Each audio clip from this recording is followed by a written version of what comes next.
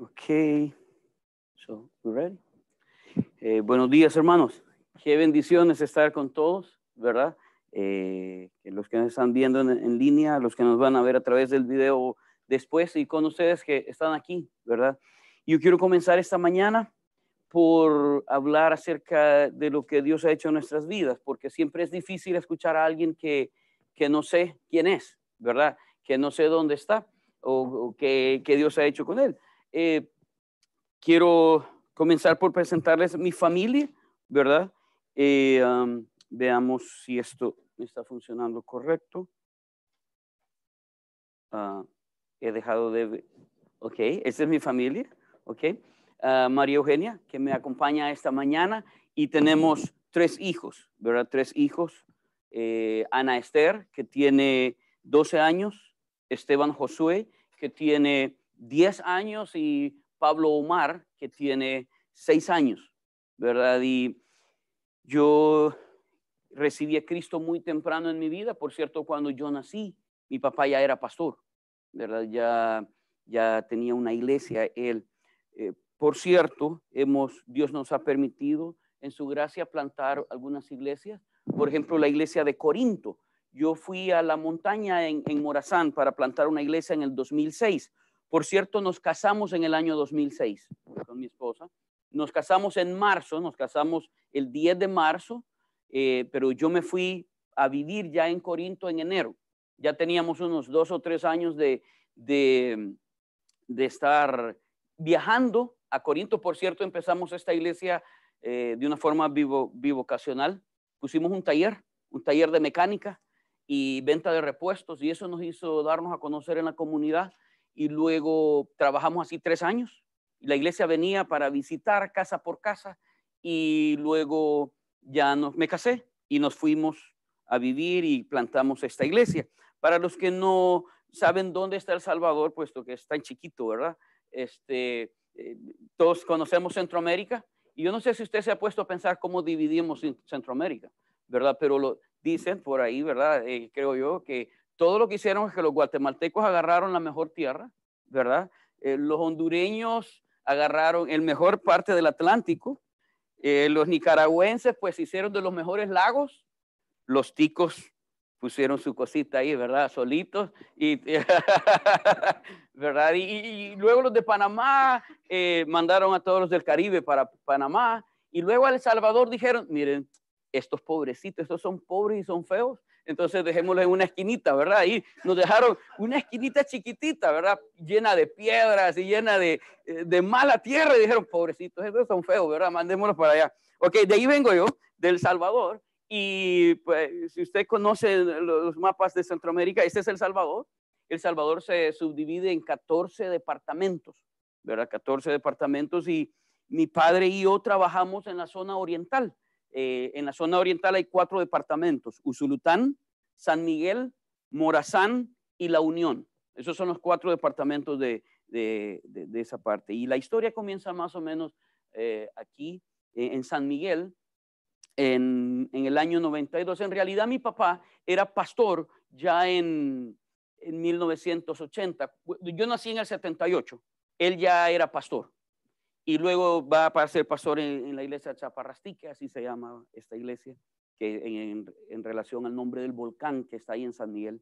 Y es pastor ahí como por 12 años. Y en 1992, siendo el pastor principal de esa iglesia, mi papá dice, no, tenemos que ir a Morazán. En Morazán no había ninguna iglesia bautista. Había de todo lo que usted quiera pensar, pero no había una iglesia bautista que enseñara la Biblia, que, que fuese al texto. Entonces él dijo, vamos a ir y vamos a plantar una iglesia, ¿verdad? Desde aquí, saliendo desde San Miguel, que es donde estaba él como pastor, y vamos a ir a, Morazán para plantar una iglesia. Y el corazón al ir ahí, la visión era eh, plantar una iglesia con sana doctrina que hiciera discípulos de otros, eh, de otras personas. En ese tiempo, en todo ese lapso, yo recibí a Cristo a los siete años de edad y no me dejaron bautizarme inmediatamente porque de hecho el día que que yo recibí a Cristo, la maestra que dio la clase, pues yo siempre fui bien bajito. Y él decía, no, que Ramiro no, no sabe qué, está, qué, quiere hacer en realidad, ¿verdad? Y, y, fue una lucha. Yo le decía, mire, pero yo quiero recibir a Cristo. Ya había levantado la mano varias veces cuando mi papá hacía la invitación. pero me parecía no verme, ¿verdad? Ahora que tengo hijos entiendo que era el temor de que solo estuviese haciendo algo para agradarle a él y no una decisión real. Le recibí eh, ese día, le dije al Señor, eh, fue el noviembre anterior a que yo cumpliese siete años, yo cumplo años en enero, entonces justo el noviembre anterior a los que cumpliese los siete años recibí a Cristo. Eh, me bautizaron cuando tenía 12 años y luego quiero dar clases a niños. Desde entonces quiero dar clases a niños, pero no me dejan porque estoy muy chiquito pero me iba a asomar a la clase de maestros de escuela dominical para niños del Ministerio Infantil, esperando alguna oportunidad hasta que un buen día una maestra no pudo llegar y dijo que no podía estar. Y entonces me preguntaron si quería dar clase. Yo dije, sí, ya la tengo lista, ¿verdad? Y en realidad ya la tenía lista. Hice un, un, televisor de cartón, ¿verdad? Y le metimos figuras y, y todavía recuerdo muy bien esa clase. Y eso comenzó a los 13 años. Y en el 92 nos movemos a Morazán tengo unos 13, 14 años cuando nos movemos a, Morazán y comienzo a, darle clases a adolescentes en la clase de prejuveniles. Me dieron el privilegio de enseñarles y ahí lo hice. Luego a los 16 años me invitaron a predicar a los jóvenes en la, a la sociedad de jóvenes y, y pues a mí me encantaba, me ha encantado esto. Creo que es que Dios me ha dado esta, e, este don, ¿verdad? Para hacerlo, si podemos llamarle así y pues a los 14 años lo hice. Luego a los 21 años, cuando cumplí 21 años, mi papá me invitó a predicar en la iglesia, ya en la iglesia el domingo por la mañana. Teníamos domingo por la mañana y domingo por la tarde, como es en muchas partes en Latinoamérica todavía. Pero el culto del domingo de la mañana era, era menos numeroso que el de la tarde. Una de las experiencias que puedo contarles es que mi papá me entrega el culto del domingo por la mañana como con 80 personas. Eso habían más o menos. Y empiezo a predicar y usted sabe que uno nunca pues está listo, ¿verdad? Para hacerlo y el grupo cae como a 20, ¿verdad? La gente dejó de llegar. Llego un día y le digo a mi papá que no, ya no voy a predicar, ¿verdad? Porque dentro de poco no va a haber nadie. Jamás voy a olvidar que él me vuelve a ver y me dice, si sos un hombre de Dios, subite y predica. Y si no viene nadie, predica. Así es que no tengo ningún problema con predicar con un templo vacío, ¿verdad? Eso he hecho muchos años, muchas veces. Y me subí, prediqué y hasta el día de hoy sigo predicando, ¿verdad? Tengo 41 años. Y pues fuimos a Morazán y el corazón ahí en Morazán era plantar una iglesia donde usted ve la flecha, donde llega la flecha, ahí es la, ciudad principal de todo Morazán. Y mi papá dijo, vamos a plantar una iglesia madura y desde ahí vamos a alcanzar a todas las, las subdivisiones de Morazán. Nos subdividimos en municipios. Y dijo, vamos a alcanzar a plantar una iglesia con sana doctrina en cada uno de esos lugares. Y pues eso hemos hecho y luego empezamos la reproducción, ¿verdad? Eh, en 1996, em, eh, René Antonio, que es un primo mío, ¿verdad? De carne, eh, él decide ir de Gotera a Cacaopera. Cacaopera es una zona lenca, era una zona, era en ese momento, era determinado como el, lugar más pobre de todo nuestro país. Y él se va a vivir a Cacaopera para comenzar una iglesia. Ahí donde está, la, donde usted puede ver la estrella, ahí plantamos una iglesia. Y, luego, eh, el siguiente en salir, pues fui yo. En el 2006 volvimos a abrir una nueva misión y esta vez fui yo, ¿verdad? Salimos con mi esposa para plantar una iglesia y una familia más que nos apoyó, el hermano Israel Luna y su esposa. Nos fuimos para Corinto a plantar iglesias de cero, donde no había iglesia bautista. Eh, conseguimos una casa y empezamos a hacer evangelismo y a, hacer discípulos y así hemos plantado la iglesia. Por cierto, la, iglesia que, la foto que usted vio, que, hablamos de Corinto hace un rato, es la iglesia que quedó cuando salimos. Eh, en todo ese proceso, entre eh, de ahí por el año 2006, empezamos a hacer algunas cosas, ¿verdad? Empezamos a, a abrir más iglesias, que eso fue lo que pasó. Por ejemplo, abrimos la iglesia eh, en Cacaupera abrimos dos más, ¿verdad? Se abrió la iglesia de El Tablón y El Rodeo y también otra en, el, em, en Los Fuentes, se llama así, y otra en Ocicala, ¿verdad? Ocicala es, es esta estrellita que usted ve ahí, es esta última misión que hemos abierto. Y luego en el año 2018 yo salí para, para ir de, eh, eh, de Corinto para San Miguel. ¿Verdad? Y quiero ver si esta es la flecha. Ahora estoy ahí en San Miguel plantando una iglesia, aunque hay otras iglesias en la ciudad, estamos plantando una iglesia basada en el discipulado, basada en la predicación expositiva, ¿verdad? Y en hacer evangelismo. Y llegamos, hemos rentado un local en un hotel, ¿verdad? Y ahí estamos eh, trabajando. Por cierto, aquí tenemos algunas fotos del culto de ayer, ¿verdad? El culto de ayer. Eh, estaban, estábamos, ayer era la celebración de fin de año. Mi papá fue a predicar. Por cierto, eh, en 14 meses como iglesia, yo tengo 16 meses viviendo de regreso en esta ciudad donde nací y plantando esta iglesia tenemos 16 meses. Eh, pero como iglesia, 14, abrimos el 5 de agosto del año 2018, ese fue el primer domingo. Y Dios nos ha bendecido, hemos crecido, ¿verdad? Hemos crecido, hemos llegado a tener reuniones de hasta 90 personas, ¿verdad? Unas 76 personas y el resto niños, o 80 personas, 14 eh, niños. Eh, y los que hemos hecho esto por varios tiempos, pues entendemos que sube, baja y, y luego eh, crece en número y como Jesucristo hacía, luego el núcleo queda pequeño y luego volvemos a crecer y, el núcleo vuelve a, a, quedar pequeño, pero es más grande que la vez anterior. Entonces, por, por si acaso alguien está ahí diciendo, mira, ¿qué pasó? ¿verdad? Ya no viene nadie. Así es esto, ¿verdad? Tanto en la iglesia que plantamos en Corinto y ahora en la que estamos plantando en San Miguel, hay domingos que estoy muy feliz, me encanta ver el lugar, el salón lleno, ¿verdad? Y está lleno y digo, ¡ay, qué bonito! Pero hay otros domingos que está más vacío y sigue siendo bonito, ¿verdad? Porque lo que estamos haciendo es predicando la misión, eh, la, la, palabra de Dios, haciendo lo que Él nos mandó. La iglesia que estamos plantando se llama Iglesia Bautista Buenas Nuevas.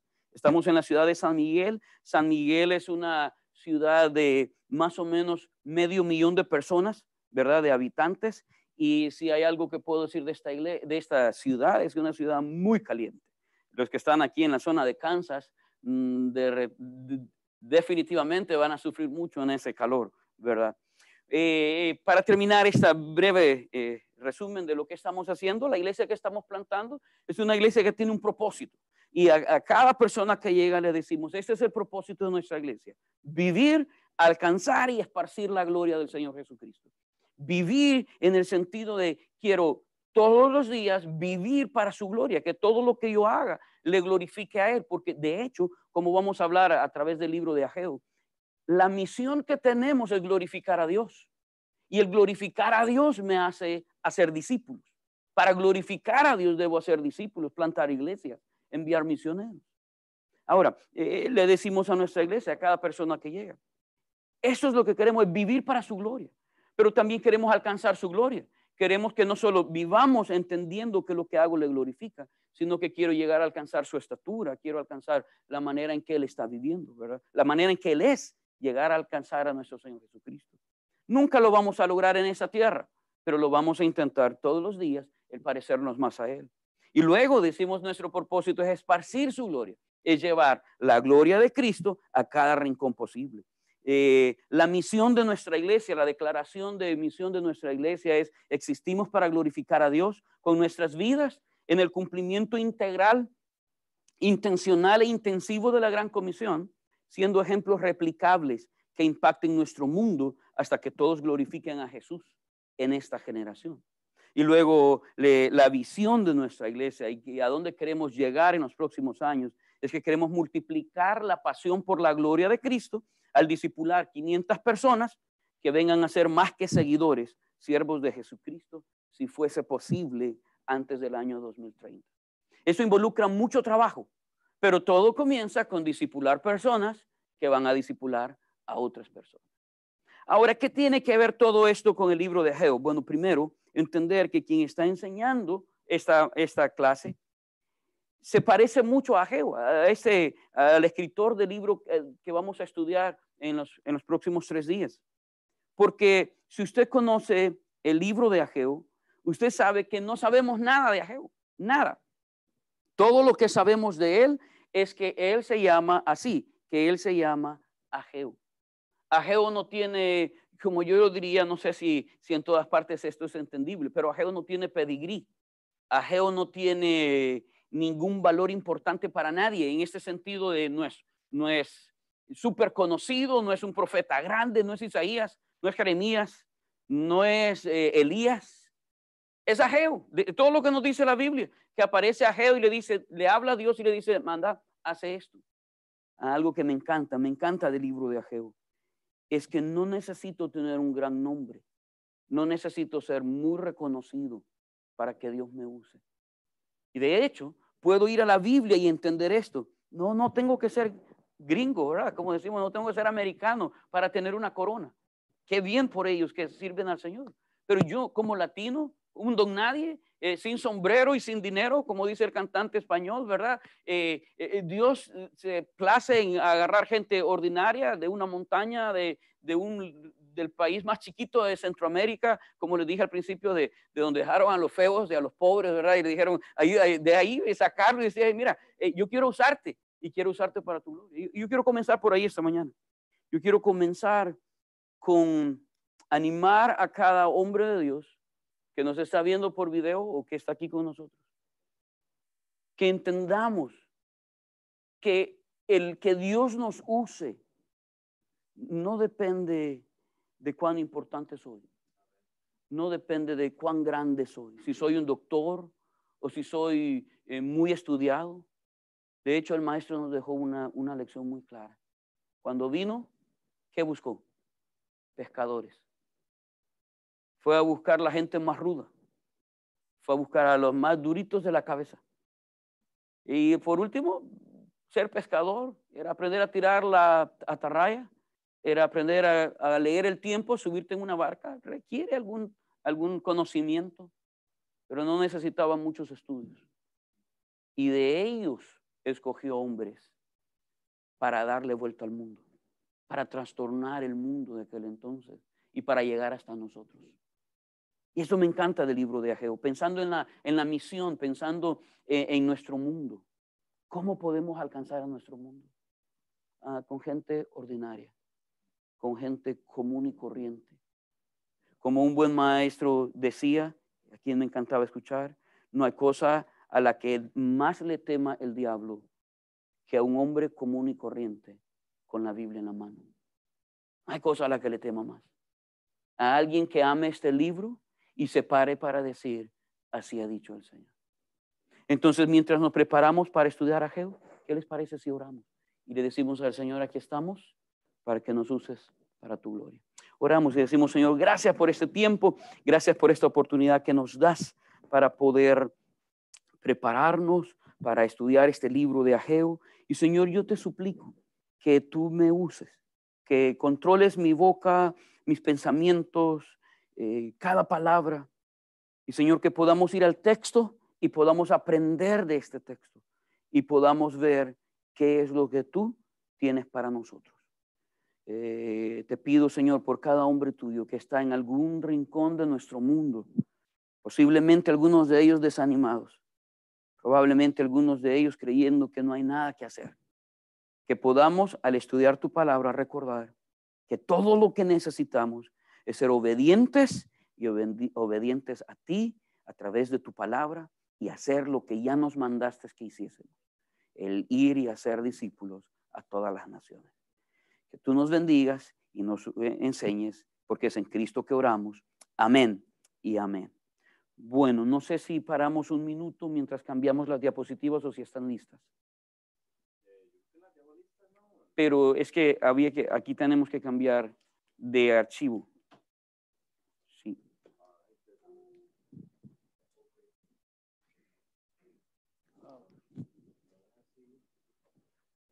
Sí. En eso nos sumamos, fíjate. necesito, tengo dos problemitas. Gracias.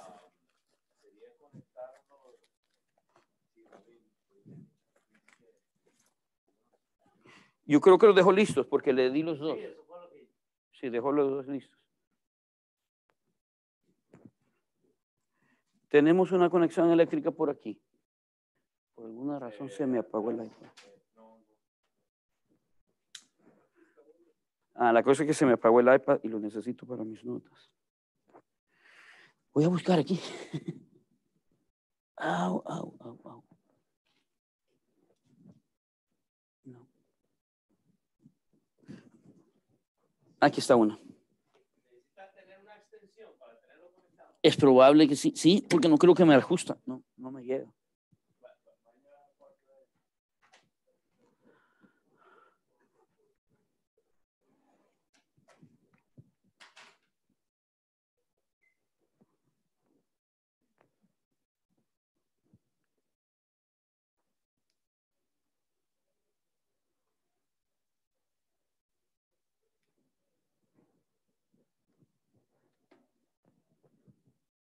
Si no, me hago aquí y aquí está.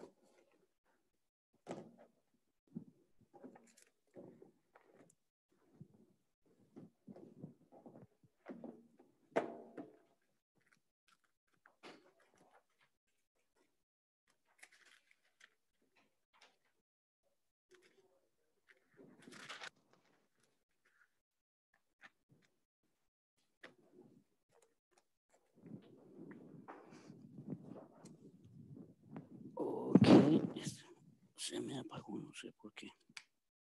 Bueno, se descargó rapidito. Me pongo aquí.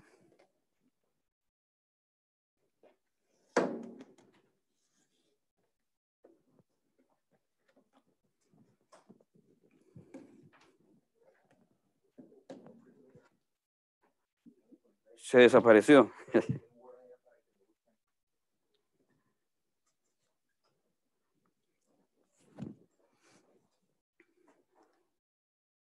En eso me enciende otra vez.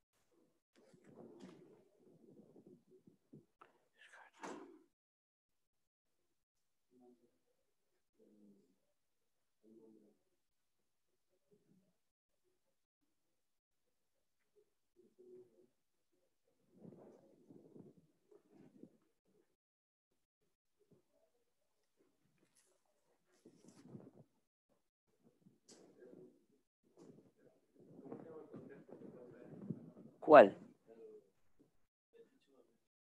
Ah, ¿dónde están transmitiendo? La plataforma, no sé en qué plataforma es, eh, pero ah, ahorita la preguntamos cuando venga. Porque creo que hay un link para que lo puedan ver. De hecho, no sé si hay personas ya conectadas o si solo están grabando y después lo van a subir. Es lo que no estoy.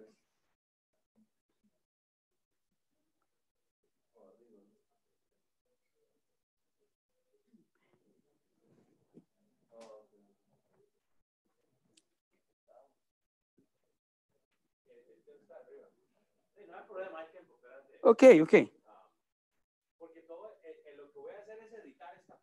Correcto, estamos bien, estamos bien, no hay problema.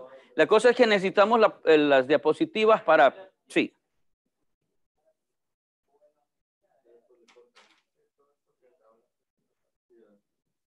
Sí, no, toda esa parte la van a cortar y y ya.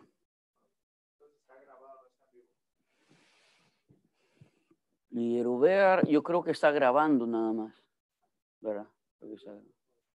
¿eh? Si no, ya nos van a avisar, sí, están en vivo.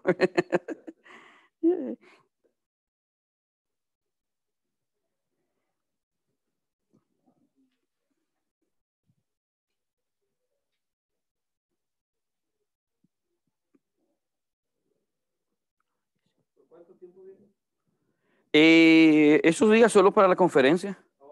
Sí, solo para la conferencia.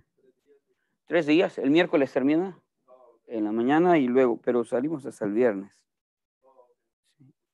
¿Y ustedes están aquí o están en aquí?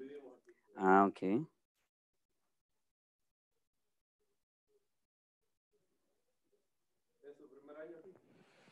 Vine el año pasado a la clase, estuve aquí, sí, estuve, estuve oyéndola, estuve aquí. Sí, para esa misma conferencia, estaba nevando, por cierto, sí, estaba nevando. So, ayer un poquito, poquitito, ¿verdad? Así, así dicen.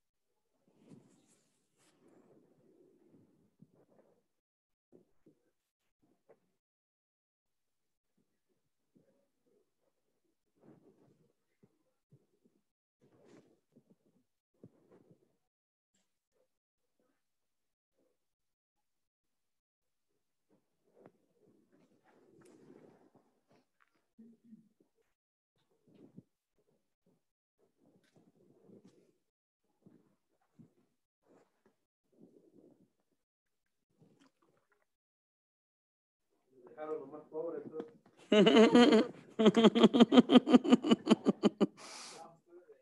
Todos me dijeron. 14 departamentos, sí. Ah, pero de Honduras. Sí, yo les digo que la solución de los problemas del Salvador, ojalá que no estén vivos, ¿verdad? es quitarle a Honduras hasta la esperanza siquiera, ¿verdad? Hasta Intibucá, y resolvemos nuestros problemas de tierra. Por fin las usan. Ahí está tirada a tierra. ¿Ah? Helado. Es helado, sí. Tenemos un amigo ahí en, en, La Esperanza, muy buen amigo, que es misionero. Y a veces vamos, hemos ido y es helado, ¿verdad? Así que, así les molesto. Yo les digo, no, aquí la solución es que en vez de estar peleando nosotros, peleemos con aquello y le quitamos tierra y...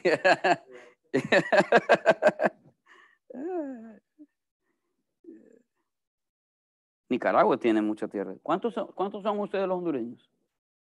En total. Son unos varios, ¿verdad? Sí.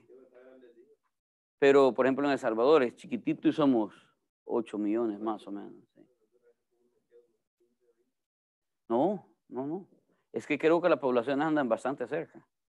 Según yo entiendo, puedo ser equivocado, creo que anda bastante cerca. Y y no, por eso no usan toda la tierra, tienen menos gente. Y es más grande, ¿verdad?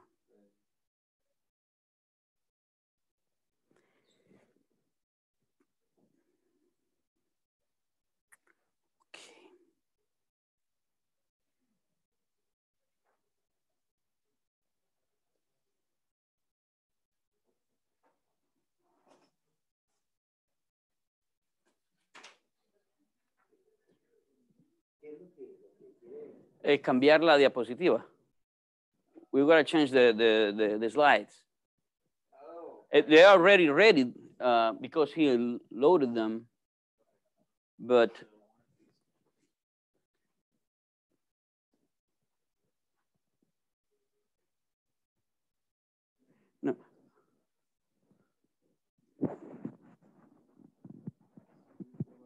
Yeah, no, uh, no, this is, this is over. I already finished with this presentation that we gotta change the presentation. Uh, that, yeah, uh, that one. Yeah. That's the one we need. Yeah.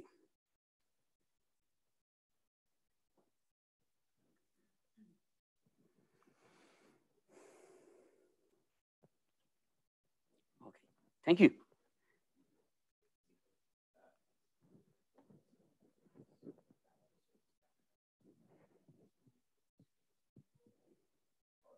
Thank you very much. Ok. Estamos listos entonces, ¿verdad?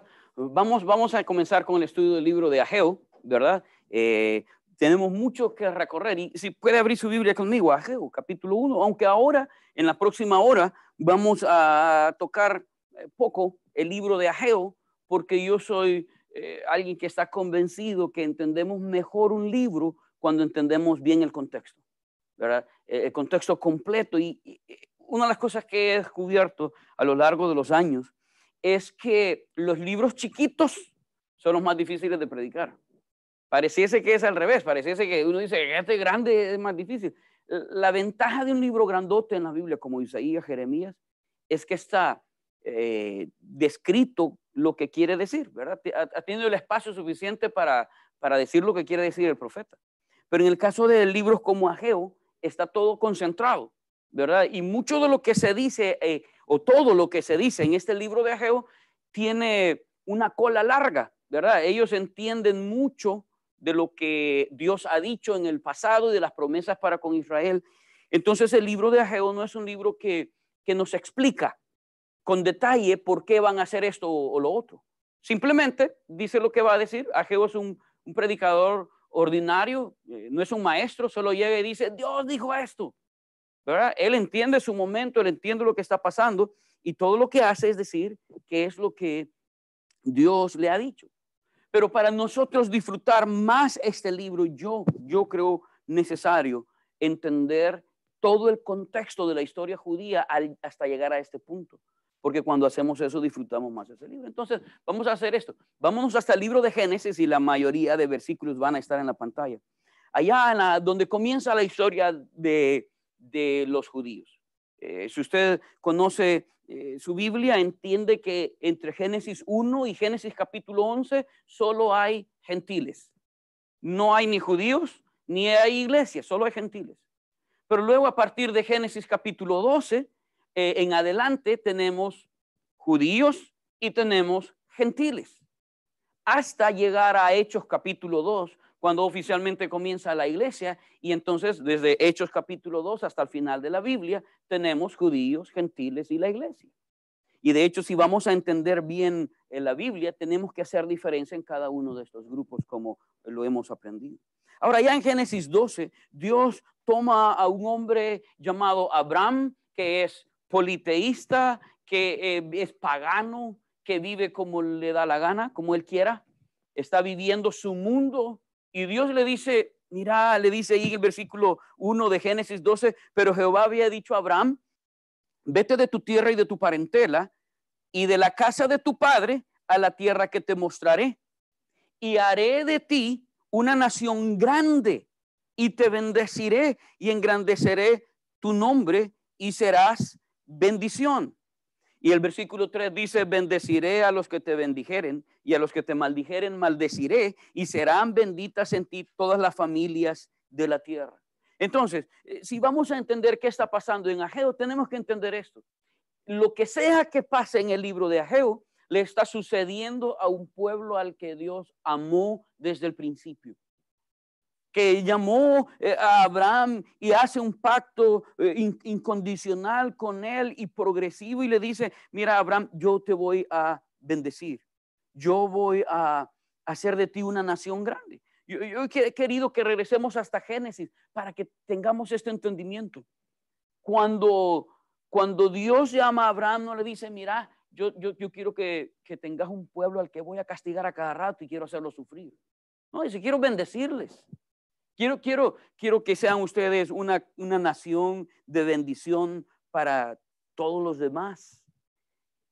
Y luego esa, esa promesa que le hace a Abraham, Dios comienza a pasarla y a repetirla una y otra vez a ellos. Por ejemplo, en Éxodo capítulo 19, versículo del 1 al 8, pero ahí viendo los versículos 5 y 6 dice, ahora pues, si dieres oído a mi voz y guardaréis mi pacto, vosotros seréis mi especial tesoro sobre todos los pueblos, porque mía es toda la tierra.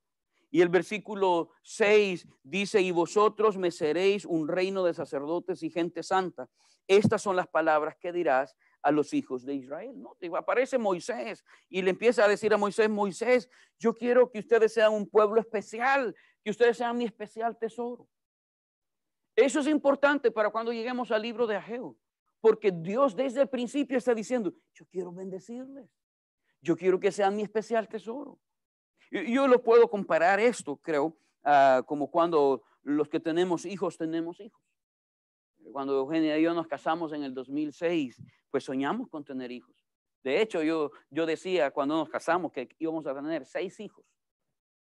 Seis hijos. Y luego nace el primero y salen caros, ¿verdad? Y luego el segundo. Cuando llegamos al tercero le dije, quedémonos con tres, ¿verdad? Eh, el, de hecho, el tercer hijo cuenta por cuatro, ¿verdad? Es muy activo toda la vida eh, jugando. Eh, y cuando tuvimos los hijos, yo no sé si usted, si, usted ha hecho eso cuando tuvo sus hijos, pero yo no dije, hey, qué bueno, hoy nació el peor de todos los salvadoreños, ¿verdad? Hemos tenido hijos para que eh, este sea el jefe de todas las maras en, toda Latinoamérica. Yo no, dije eso, yo espero que usted no dijo eso con sus hijos tampoco, ¿verdad? ¿Qué, ¿Qué decimos cuando nacen nuestros hijos? Decimos, ah, yo quiero que nuestros hijos sean de bendición y tengan una vida, una mejor vida que la que yo tuve. ¿Verdad? Que puedan eh, tener mejor. Algunos de ustedes están aquí por eso, por darle una mejor vida a sus hijos. E, eso estamos pensando cuando nacen. No decimos, ay, ojalá que llegue el día en que te muras. No, estamos pensando en el juguete que le vamos a comprar, a dónde le vamos a poner a estudiar, qué, hasta dónde queremos que lleguen. Cuando Dios llama a Abraham y luego a través de Moisés está diciéndoles una y otra vez, señores, yo quiero bendecirles. Yo quiero que ustedes sean un, pueblo de mucha bendición y que la bendición sea tan grande que llegue a todas las demás naciones. Pasa el tiempo y el Dios de la Biblia es un Dios al que le gusta hablar muy claro. Porque algo que me encanta del Dios de la Biblia es que no nos deja cosas a medias. Lo que quiso que supiésemos está en este libro. Si, si no está aquí, es bien fácil. Si no está aquí, no necesitaba que lo supiéramos no le interesara, no le interesaba que supiésemos eso. Él quería que si algo era importante, lo puso en la Biblia. Él habla claro. Y así lo hizo con, sus, ah, con su pueblo Israel. Les dice allá en Deuteronomio capítulo 28, pasa el tiempo, ¿verdad? Y les dice, acontecerá que si oyeres atentamente a la voz de Jehová tu Dios, para guardar y poner por obra todos tus mandamientos que yo te prescribo hoy, también Jehová tu Dios te exaltará sobre todas las naciones de la tierra. Ahora con, con este nuevo pacto, ahora les está diciendo, miren, hay una condición y la condición es que sean obedientes. Y la condición es de que ustedes oigan y oír en la Biblia viene de una palabra que significa hacer, significa obedecer. La misma palabra que significa oír significa al mismo tiempo obedecer. De hecho, le decimos a nuestros hijos todavía, me oíste, y le recalcamos eso porque sabemos que si me oyó, entonces es seguro que va a poder obedecer. Ah, ok, al menos debiese ser más fácil. Le dice, señores, quiero bendecirles. Y mira lo que dice el versículo 2 de Deuteronomio 28. Le dice, y vendrán sobre ti todas estas bendiciones y te alcanzarán si oyeres la voz de Jehová tu Dios. Una vez más, Dios está diciendo, yo quiero que ustedes tengan esas bendiciones, yo quiero bendecirles, yo quiero colmarles de bendiciones una y otra vez. Si leemos con cuidado todo el contexto hasta llegar al momento que se escribe a Jehu, eh, eh, Dios está diciendo una y otra vez, una y otra vez, quiero bendecirles, quiero bendecirles. De hecho, les aclara en Deuteronomio 28, les dice eh, en el versículo 15, pero acontecerá si Jehová, si no oyeres la voz de Jehová tu Dios para, para procurar cumplir todos sus mandamientos y sus estatutos que yo te intimo hoy, que vendrán sobre ti todas estas maldiciones y te alcanzarán. Y empieza a aclararles todo lo que les va a suceder si ellos no son obedientes. Y no tenemos el tiempo para leer todos estos pasajes eh, eh, completamente, pero el capítulo 28 de Deuteronomio, él está diciéndole, hey, obedezcan o les va a ir mal, hagan lo que les digo o no van a, a, a lograr la bendición que quiero darles. En el versículo 48, por ejemplo, les dice, servirás por tanto a tus enemigos que enviaré, que, que enviare Jehová contra ti con hambre, con sed y con desnudez y con falta de todas las cosas, y él pondrá yugo de hierro sobre tu cuello hasta destruirte. En el versículo 49 le dice, Jehová traerá contra ti una nación de lejos, del extremo de, de la tierra, que vuele como águila, nación cuya lengua no entenderás, gente fiera de rostro, que no tendrá respeto al anciano, ni perdonará al niño, y comerá el fruto de tu bestia y el fruto de tu tierra hasta que perezcas. Y no te dejará grano, ni mosto, ni aceite, ni la cría de tus vacas, ni los rebaños de tus ovejas, hasta destruirte. E-, es increíble lo que Dios hace. Dice, hey Abraham, quiero bendecirte, quiero hacer una nación grande de ti, voy a hacer una nación grande de ti. Llega Moisés y le dice, miren, si me obedecen, voy a bendecirles una y otra vez.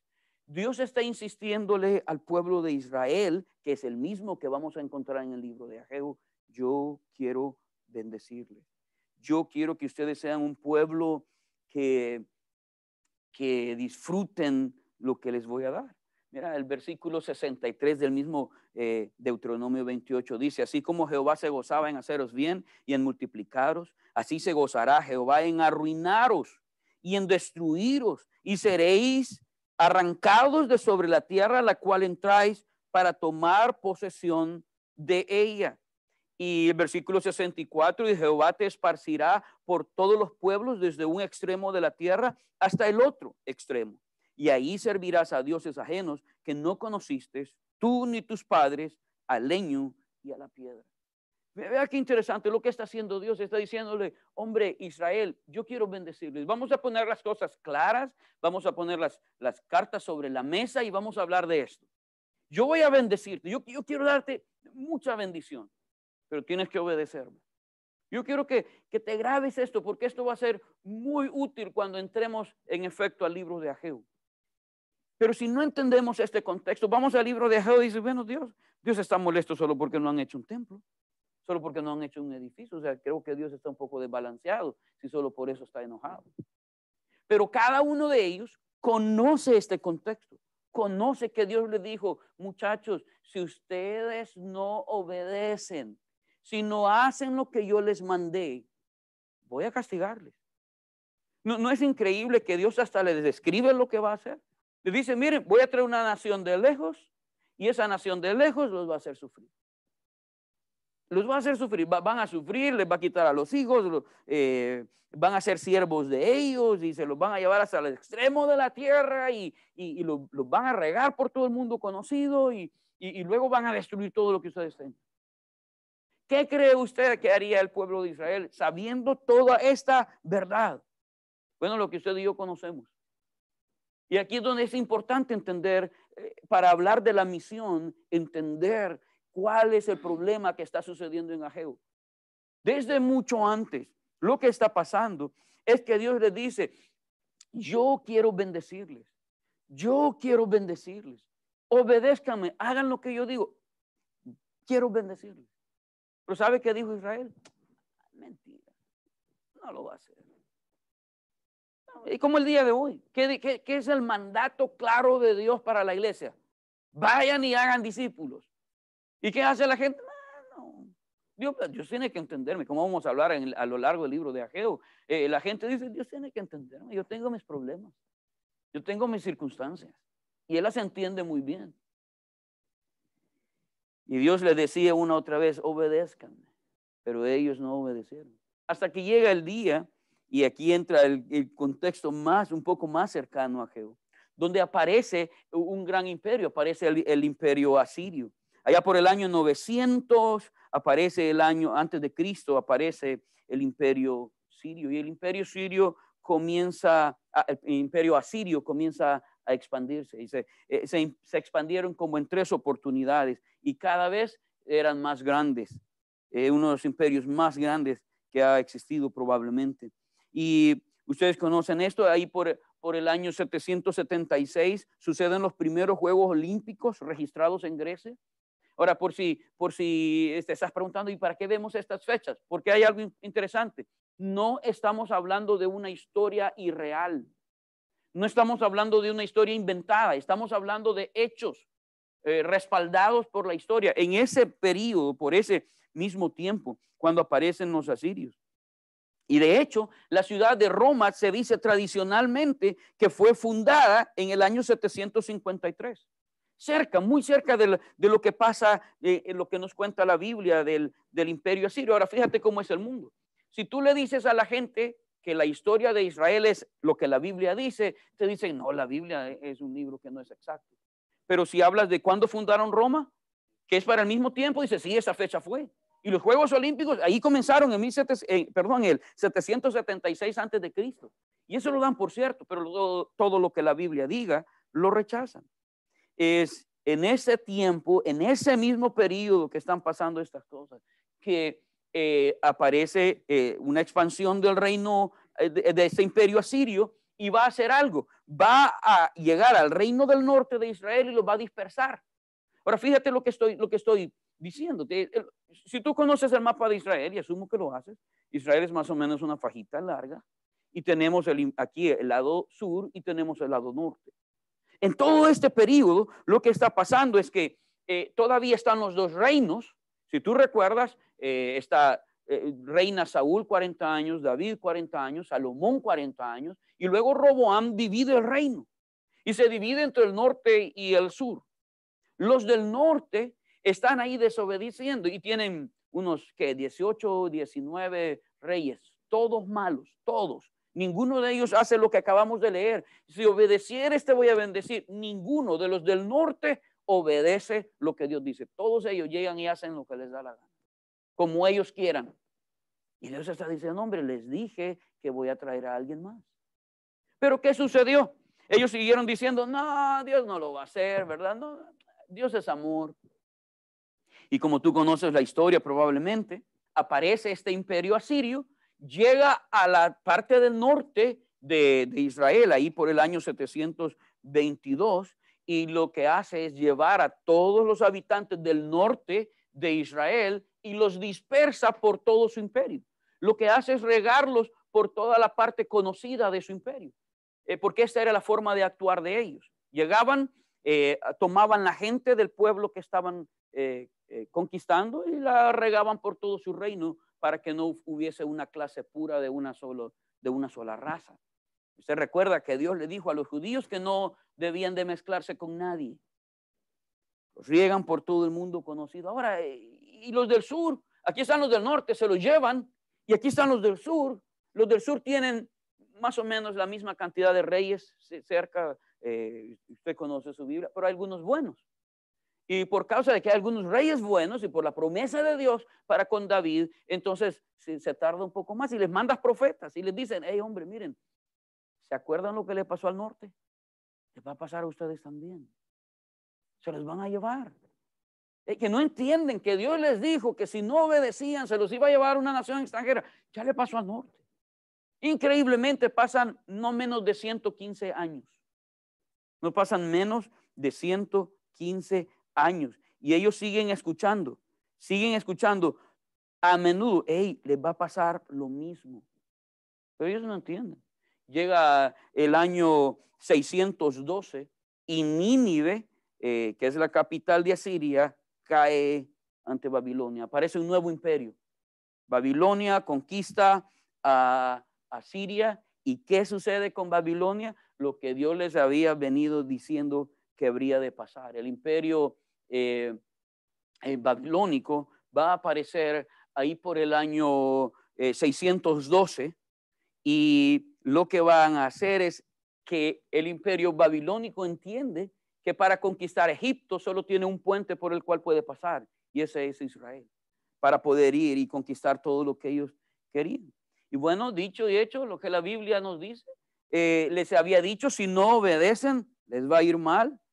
Si no obedecen van a sufrir. Y bueno, mira lo que pasó. En el año 605 llega Babilonia y se lleva al primer grupo del sur. No, es increíble, 115 años oyendo, hey, ya le pasó al norte, les toca a ustedes. les va a pasar. No, Dios no va a hacer. Como el día de hoy, ¿cuántas conferencias ocupamos para decirle a la gente, hey, hay que hacer discípulos? Pero como vamos a ver en el libro de Ageo, la gente tiene tantas excusas. Ahora tengo 41 años. Me llevaron a la iglesia de ocho días. Mis papás fueron así, tan llenos de sus convicciones, que mi mamá dijo, si vamos a hacer bien las cosas, lo llevamos ya. A los ocho días que nací, nos llevaron a la iglesia y desde entonces he vivido en la iglesia hasta este día. Ah, y he oído por todos estos años de todo tipo de excusas por el cual la gente no quiere vivir la misión. Una barbaridad. Desde las más espirituales hasta las excusas más ridículas que usted pueda escuchar. Todo tipo de excusas.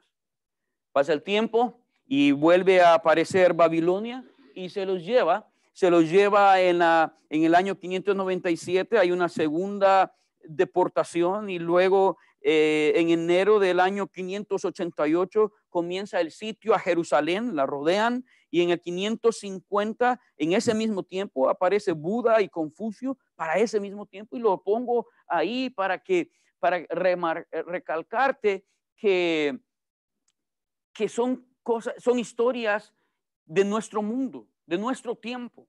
No, es, no es algo, de, eh, algo que está ahí, ¿verdad? Es antes de Cristo, por supuesto, pero si tú hablas de la gente de Buda, dice, sí, Buda existió. Pero le dices lo que la Biblia cuenta, ¿cierto? No, la Biblia es desfasada. Es, es, es, increíble lo que hacen, ¿verdad? Eh, deciden qué les gusta y qué no les gusta. Pero luego eh, es Jerusalén en el año 586 es destruido y el templo es destruido. Y se llevan un tercer grupo de personas. Dios les había dicho, obedézcanme, que voy a bendecirles. Si no me obedecen, les va a ir mal. Es que tenemos esa, esa dificultad para creer lo que Dios dice. Llega a Babilonia, les, les destruye. Si, si, me puedes acompañar al Salmo 137, este no va a estar en la pantalla. Me gustaría que me acompañes al Salmo 137. Escuchemos, escuchemos a los judíos, ¿verdad? Lo que están viviendo porque se los llevan, se los llevan en tres grupos, se los llevan para su, para su cautiverio en Babilonia, porque eh, Babilonia se los lleva, toma a los mejores jóvenes, a los, a los, que más le van a servir y se los lleva para, para su reino. Mira cómo describen los judíos en el Salmo 137. Dice, junto a los ríos de Babilonia, allí nos sentábamos y aún llorábamos, acordándonos de Sión sobre los sauces, en medio de ella, colgamos nuestras arpas. Y los que nos habían llevado cautivos nos pedían que cantásemos. Y los que nos habían desolado nos pedían alegría, diciendo, cantadnos algunos de los cánticos de Sión. Porque fíjate, hasta el día de hoy, ellos son muy alegres, tienen un buen ritmo, y son, muy alegres en lo que hacen. Están en la deportación, les digo, hey muchachos, échense una cancioncita, hombre, ¿verdad? Eh, que suenen los charros, ¿verdad? Que, que, que, traigan a los mariachis, que cántenos como cantan en su tierra. Y dicen, dicen ellos, ¿cómo, que, ¿cómo te pones a creer que vamos a hacer? Dice que colgaron sus arpas, agarraron su instrumento y lo fueron a poner. Un sauce es un, un, árbol a la orilla de un río que hace una copa increíble y hace como una casa a tu, alrededor, como una tienda de campaña, puedo escribirte. Y ellos lo cuelgan y dicen, lo, lo cuelgan porque dicen, hoy no voy a cantar. Ojo con esto, cuando lleguemos otra vez, ahí vamos a cantar. Dice el versículo 4, ¿cómo cantaremos cántico de Jehová en tierra de extraños? Si me olvidare de ti, oh Jerusalén, pierda mi diestra su deseo. Mira, a mí me encanta este versículo porque es un judío probablemente muy sincero. Yo creo que el que escribe el Salmo está diciendo, ¿cómo voy a cantar? Si mi Jerusalén está destruida, ¿cómo me voy a olvidar de ella? Si yo me olvido de Jerusalén, que Dios me quite la diestra, me, quite la, la, destreza de mi mano derecha. Versículo 6, mi lengua se pegue a mi paladar y de ti no me acordaré si, si no enalteciere a Jerusalén como preferente asunto de mi alegría. Ahora, si terminas de leer el, libro, eh, es, el, perdón, el capítulo dice, sí, oh Jehová, recuerda contra los hijos de Edom el día de Jerusalén, cuando decían, arrasadla, arrasadla hasta los cimientos, hija de Babilonia, la desolada, bienaventurado el que te diere el pago de lo que tú nos hiciste. Dichoso el que tomare y estrellare tus niños contra la peña. Ay, ese versículo es duro, ¿verdad? Porque están diciendo, es increíble lo que nos están haciendo. Pero en el contexto están diciendo, si estuviésemos en Jerusalén podríamos cantar. Cuando lleguemos a Hell vas a darte cuenta que solo eran palabras. Solo eran palabras. Es como mucha gente hoy en día. Si yo tuviese esto, si yo tuviese esto, o si yo tuviese aquello, yo haría lo que Dios me manda. Pero no tengo. No tengo lo que quiero y por eso no lo hago. El pueblo de Israel conocía, fíjate, te llevé hasta Abraham porque desde que aparecen le dice, quiero bendecirles. Aparece Moisés, quiero bendecirles hey, miren, si, si no obedecen, va a pasarles mal. Pero ellos no querían creerle. O sea que llega Ciro y aparece el rey Ciro, el emperador Ciro en el año 539 y va a tomar a Babilonia. Y entonces vamos acercándonos al libro de Ageo.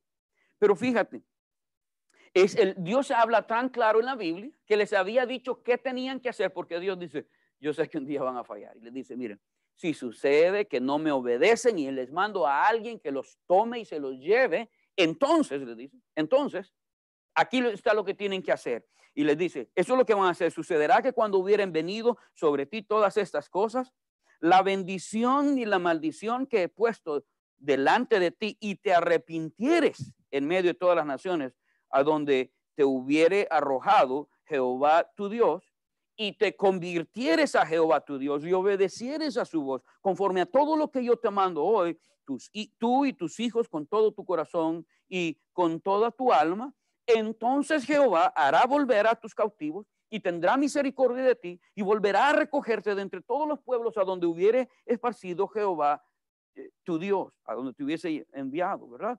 Aún cuando tus desterrados estuvieran en las partes más lejanas, que hay debajo del cielo, de ahí te recogerá Jehová tu Dios y de allá te tomará. Y el versículo 5, y te hará volver Jehová tu Dios a la tierra que heredaron tus padres, y será tuya y te hará bien y te multiplicará más que a tus padres. Yo, yo quiero que notes otra vez. Les dice, mira, cuando esto suceda, todo lo que necesitas es arrepentirte. Y si te arrepientes, Dios te va a recoger, no importa dónde estés, en qué rincón estés metido, Dios te va a recoger, te va a traer y fíjate lo que va a hacer. Y te multiplicará más que a tus padres. Una y otra vez. Dios está diciéndoles a ellos, muchachos, quiero bendecirles. Quiero bendecirles. Y, y aún si fallan, mira, te arrepientes, te voy a traer y te voy a multiplicar. Sucede en los 70 años de cautiverio que les había dicho que había de sucederle, los profetas se los habían dicho, les va a pasar lo mismo. A los del sur se los llevan 70 años, pasa ese tiempo y entonces eh, aparece el imperio persa.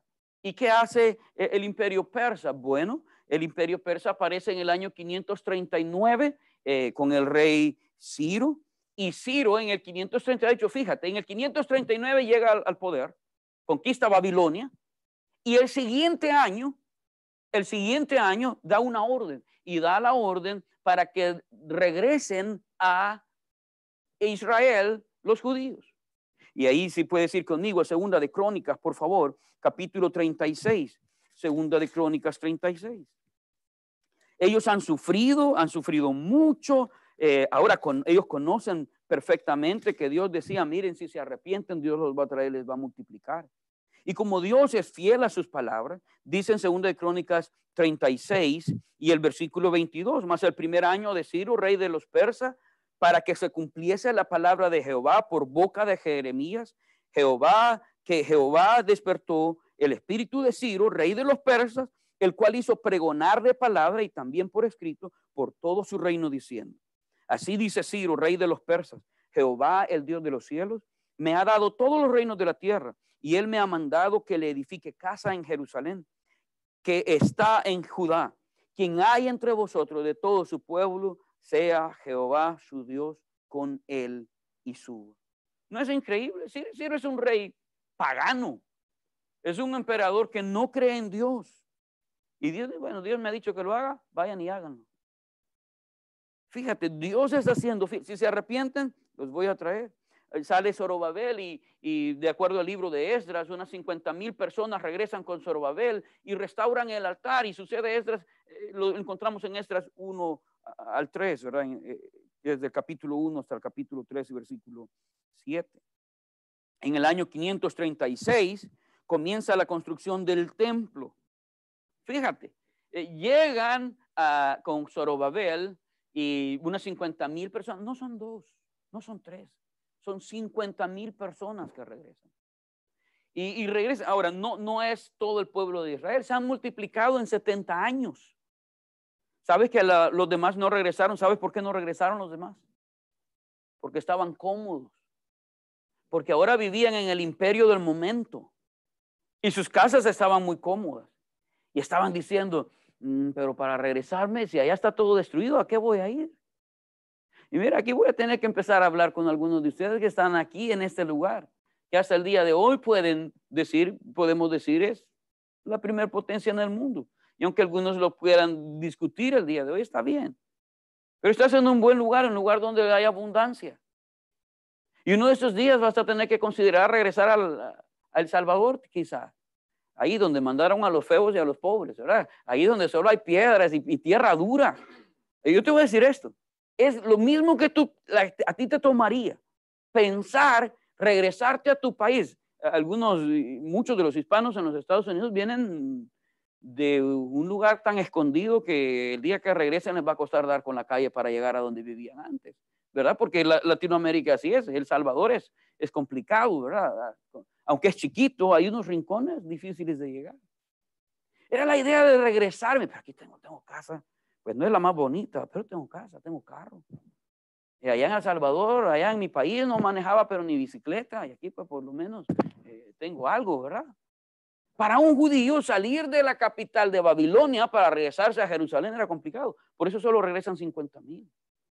Y Dios les da una orden, les dice, miren, eso es lo que van a hacer. Van a construirme el templo. Van a hacer el altar y luego van a construir el templo. Y comienzan el templo. Pero sucede algo interesante. Al poco tiempo de haber comenzado el templo se detienen. Los mismos que decían, ay, si estuviésemos en Jerusalén cantaríamos. Ahora van a, van a ir a Jerusalén y es la hora, e, e, están en su momento, tienen el altar ya hecho, hagan el templo y volvamos a hacer todo lo que antes se hacía en, en Israel. Era, su momento. Pero al poco tiempo de comenzarlo, se detuvieron, igual que ahora. Mucha gente hace, dice, hoy voy a ser discípulo. Después de una conferencia como esta, dice, mañana comienzo a ser discípulo. Dos meses después se da cuenta que hacer discípulos es difícil. No es fácil. Hay discípulos que te hacen invertir un año, dos años, tres años, y después toman cualquier decisión, hacen lo que ellos quieran. Y uno dice, ay, ¿vale la pena seguir perdiendo mi tiempo en eso? Bueno, ¿vale la pena seguir obedeciendo a Dios? Por supuesto que sí. Ah, ok.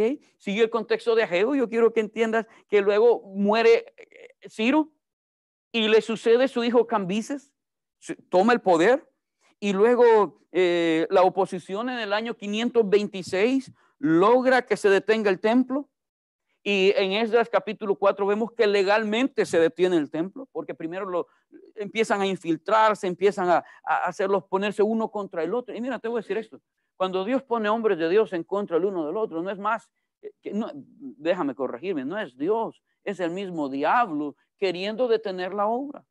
Es que el diablo no tiene que cambiar, no ha necesitado cambiar en siglos. ¿Qué es lo que hace para detener la obra? Ponernos en contra el uno del otro que porque uno es mexicano y porque el otro es salvadoreño, que porque el otro es tico y porque el otro es panameño. Y entonces ya nos ponemos en contra y el diablo dice, así me gusta. ¿Se, acuerda la historia real de nuestra Centroamérica? ¿Se acuerda una de las guerras que tuvimos con Honduras? Y que le ganamos por. ¿Se, ¿Se acuerdan de qué se trató esa guerra? Dicen, le llamamos la guerra del fútbol. Un partido de fútbol, claro, habían cosas detrás y todo eso. Después de un partido se terminaron matando. Es que al diablo le encanta. No, no, no, es curioso que en todas nuestras iglesias, en cualquier iglesia que nosotros estemos, lo que el diablo hace es hacer que el líder de alabanza está en contra del líder de discipulado y el líder de discipulado está en contra del líder de evangelismo, el líder de evangelismo en contra del grupo de jóvenes. Y de repente ya no hacemos nada porque ya no nos podemos ni ver. Ah, ¿qué es lo que está haciendo el diablo eh, aquí? Eh, ¿Qué es lo que está operando? Manda, dice, ok, yo quiero que se detenga este templo. Y empieza a mandar gente a que peleen entre ellos. Se detiene el templo y luego logra que legalmente eh, manden a decirles, ya no sigan. En el año 522, Darío sucede a Cambises. Y a Darío le mandan a decir, mira, eso, eso. No, no, ¿verdad? es, perdón, es en ese tiempo de, Darío, cuando ya han detenido el templo, que dicen, miren, vamos a hacer esto. ¿Qué es lo que van a hacer? Aparece Ageo y aparece Zacarías y empiezan a profetizar, empiezan a decir, muchachos, Dios nos mandó a hacer un templo, Dios quiere bendecirnos. E, ese es el mensaje de Ageo, simplemente. Creo firmemente que el mensaje del libro de Ageo es que Dios quiere bendecirnos, pero que eso depende de cumplir la misión. Ah, mira, hagamos, ah, vaya conmigo, por favor, para terminar esta sección. Vaya conmigo a Esdras capítulo 5. Vamos a Esdras capítulo 5 y veamos que aparecen, ahí aparecen Ageo y aparecen Zacarías. Veamos todo el contexto que hemos visto. Abraham, Dios le dice, mira, vete de Ur de los Caldeos, vete de tu tierra, de tu parentela, te voy a bendecir, voy a ser una nación grande. Pasa la historia, llegamos a Moisés después de pasar la misma promesa a Isaac, a Jacob y por todos hasta llegar. Y llega Moisés y le dice, le dice a Moisés, si me obedecen, voy a, voy a bendecirles. Pero Moisés, déjame aclararte esto. Si no me obedecen, si no me obedecen, voy a castigarle. Va a venir una nación más grande y se los va a llevar. El norte dijo, no, no va a pasar. Llegó a Siria y se los llevó. 115 años entre, eh, entre el día que dispersan a los del norte y el, y el sur y están escuchando, ¿les va a pasar lo mismo? ¿Les va a pasar lo mismo? Ya, es para tanto. Llega Babilonia. Ahora están aquí. llega Babilonia, sufren 70 años, se arrepienten, Dios los trae de regreso y ahora, ahora Dios, voy a bendecirles.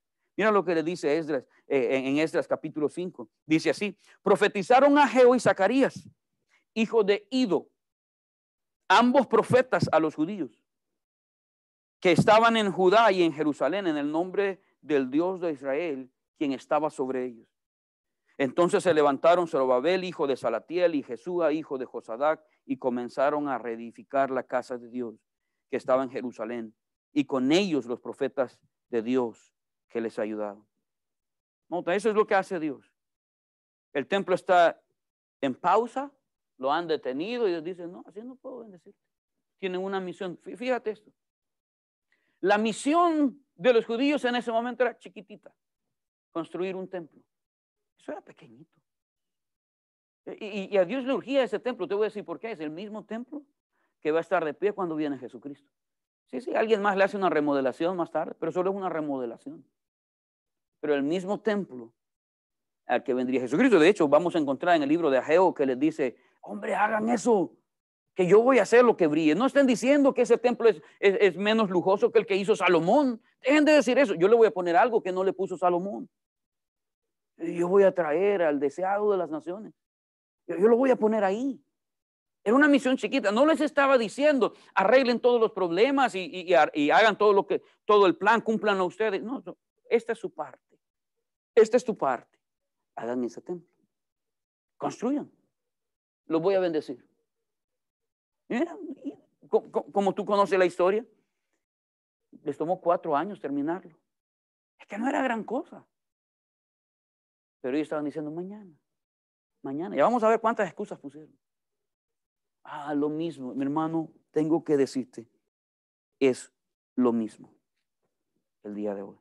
Mira, si puedo resumirte el libro de Ageo, es aquí. La bendición depende del cumplimiento de la misión.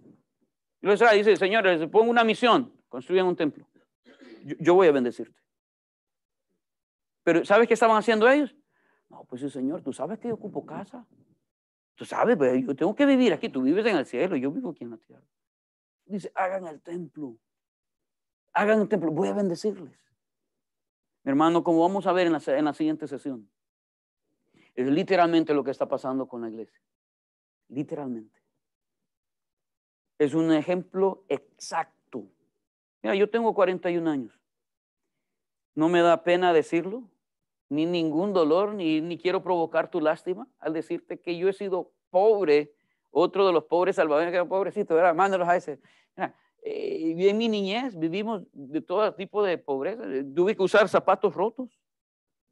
Eh, vivimos una guerra civil tremendísima. A veces no había comida en la casa. Dios nunca nos dejó morirnos de hambre. Y ves, siempre lucho con mi sobrepeso. Una cosa aprendí de mis papás que si queríamos la bendición de Dios, tendríamos que meternos de lleno en esto. Yo tuve, yo viví aquí en los Estados Unidos. Yo tuve residencia. Viví en Virginia. Ahí aprendí el poquito de inglés machacado que, me puedo, ¿verdad? Eh, tuve residencia por bastante tiempo. Pero luego Dios me llamó para ser pastor en Corinto, para abrir esta iglesia y después del 9-11 se ponen difíciles para la entrada. Y me, me dijeron, ¿qué querés? Un mexicano me dice, decirle que te mande al juez y allá le pedís que te dé la tarjeta. Yo no la quiero, yo, yo, la quiero entregar. Ah, pues allá se la entregar. Si fui al, juez, le entregué la tarjeta y me dijo, estás loco, detrás de vos hay 50 personas, a todas les voy a decir que no, hay 500 solicitudes. Y de hecho, señores, a todos les voy a decir que no, fue tan sangrón que eso les dijo, a todos les voy a decir que no. Y este me está entregando la, la residencia. Que sí, yo no la ocupo me mandó al psicólogo, al psiquiatra y al parque. Esa fue su solución. Y me dijo, regresas la otra semana y te voy a dar tu tarjeta. Yo no quiero esa tarjeta. Yo me voy para Corinto, pero está loco, ¿verdad? Eh, eh, no, es que yo voy a ser pastor.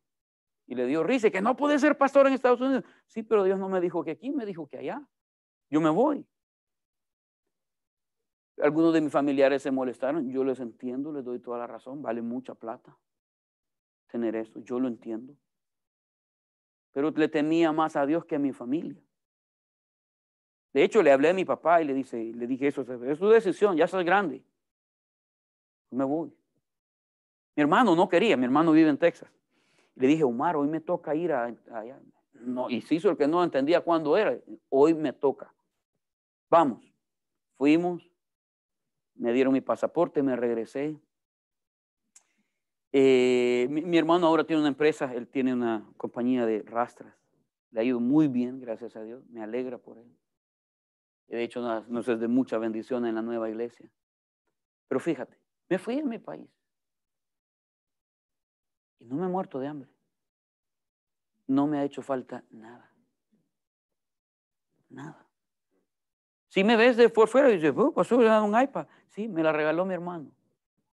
Este me lo regaló mi hermano. La ropa me la regalaron. Y no, no paso en la calle, regálenme una ropita, por favor, que yo soy pastor y no hay que hacer. No. Y no paso predicando que no tengo nada para que la iglesia llore y me dé algo. No. Mira, he decidido que le voy a dar hasta la última gota de mi vida a mi Señor. A donde Él quiera. A donde Él quiera. Una cosa me ha probado la bendición suya depende de que yo cumpla la misión que me encargó. Sencillo, sencillo. ¿Sabes cuál es la diferencia que veo el día de hoy? Es que la gente quiere lograr arreglar su camino primero y después cumplir la misión. Tenemos tres hijos. Y los que tienen hijos saben que los hijos salen caros, muy caros.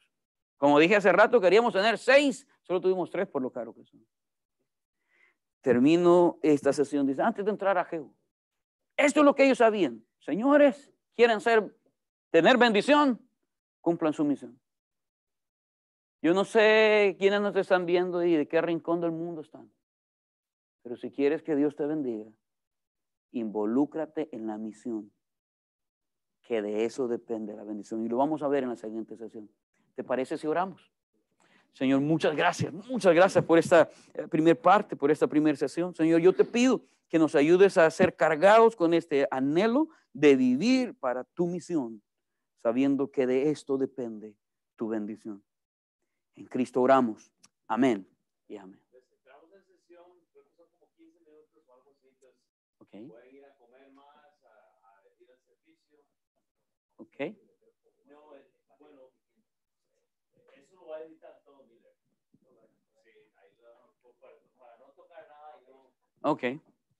entonces eh, regresamos a la... Ustedes me avisan.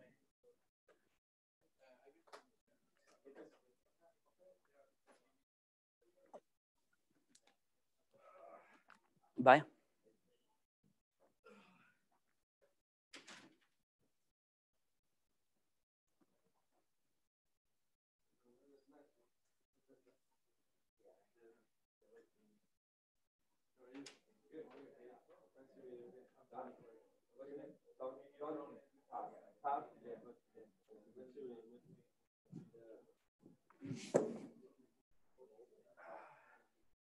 Y Honduras nunca ha dado predicado. Sí, sí. Ahí, eh, de hecho, ahí ando fotos cuando fui a, a- a La Esperanza a enseñar la filosofía del discipulado. Hey, Tom.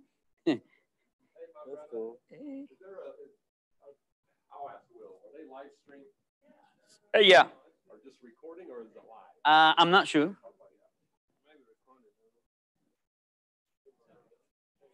Sí, mi hermana, mi familia, todos son ah, cristianos. Ah, de Ya verdad. tienen, no iglesias, pero asisten a iglesias. Ok, Ya, de hecho, hay una iglesia ahí en Tegucigalpa Ajá. que... ¿De de Tegucigalpa me dice que era? de Tegucigalpa, pero no. ¿Pero dónde viven? En la ciudad. Ah, ¿dónde? afuera de la ciudad. Ah, ok, ¿dónde? ¿Cómo se llama? Se llama La Jorica. Ah, ok, no, no, eso no conozco. Es un pueblito. Ok, ¿hacia dónde? ¿Hacia El Salvador? ¿Hacia La Esperanza? ¿Hacia San Pedro? Hacia Olancho, Hacia Olancho. Entonces, para... para- Olancho está al Atlántico. el Atlántico. Ajá, ok. Sí, está lejos de la ciudad, está como una hora de la ciudad. Ok. ¿Cómo la gente puede hablar? Porque hay gente en Houston que está llamando y, y algunos, pero otros se quieren conectar para la Sí, sí, sí. ¿Está en Facebook? ¿Eso lo pusieron en Facebook? No sé. Oh, en YouTube, ya. Eh, y Sería bueno poner el link en el de la iglesia.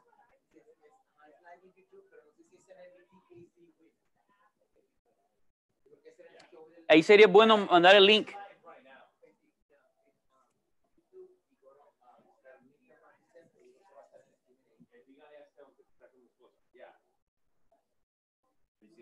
Servicio algo así. Sí, ahorita solo quiero cargar otro. ¿Cómo- ¿Estamos bien así como vamos? Hombre, Sí. hombre, genial, o sea, yo, o sea, yo estuve entrando y saliendo porque... Sí, sí, claro, yo entiendo. No, no, no, No, no, claro. Claro, solo quiero dejar cargado el otro. Y va a venir el, el que maneja esto para poner el siguiente juego de diapositivas. Moiso, ¿usted pidió a, a Chris que le ayude a pasar ahora? Porque viene otro set de diapositivas. No, Entonces, para que aprenda, para que...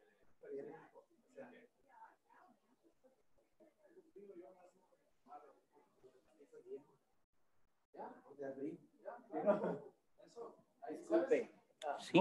Ayer que dijeron después de los 35 va la mitad de tu vida, ya están 40 tu No, y no, te dijo más padre ayer. Los de 50 para arriba, amén. Uh, qué Pues una ya me conté yo. No, tú no, tú todavía te falta.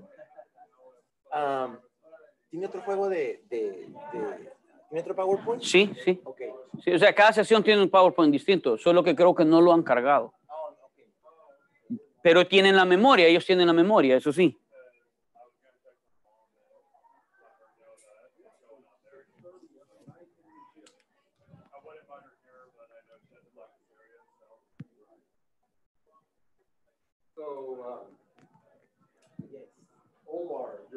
Yeah, he wanna see it. so if they can, if they can text him the link, like, well, we're not seeing it. Ajá. We're not seeing it on, on YouTube. It's not showing live. So Maybe they the guy that, that does it can just need come. someone that copy paste the link and they can send it through. Okay. Yeah, because maybe it's not, uh, maybe not on, on the NTT maybe it's under somebody on another. So can you tell Omar, if you get it, you, they'll. Yeah, yeah, I will tell him right now.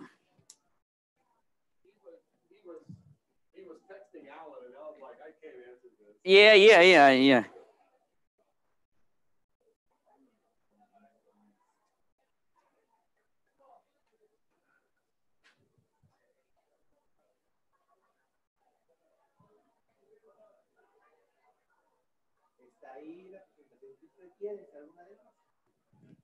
No.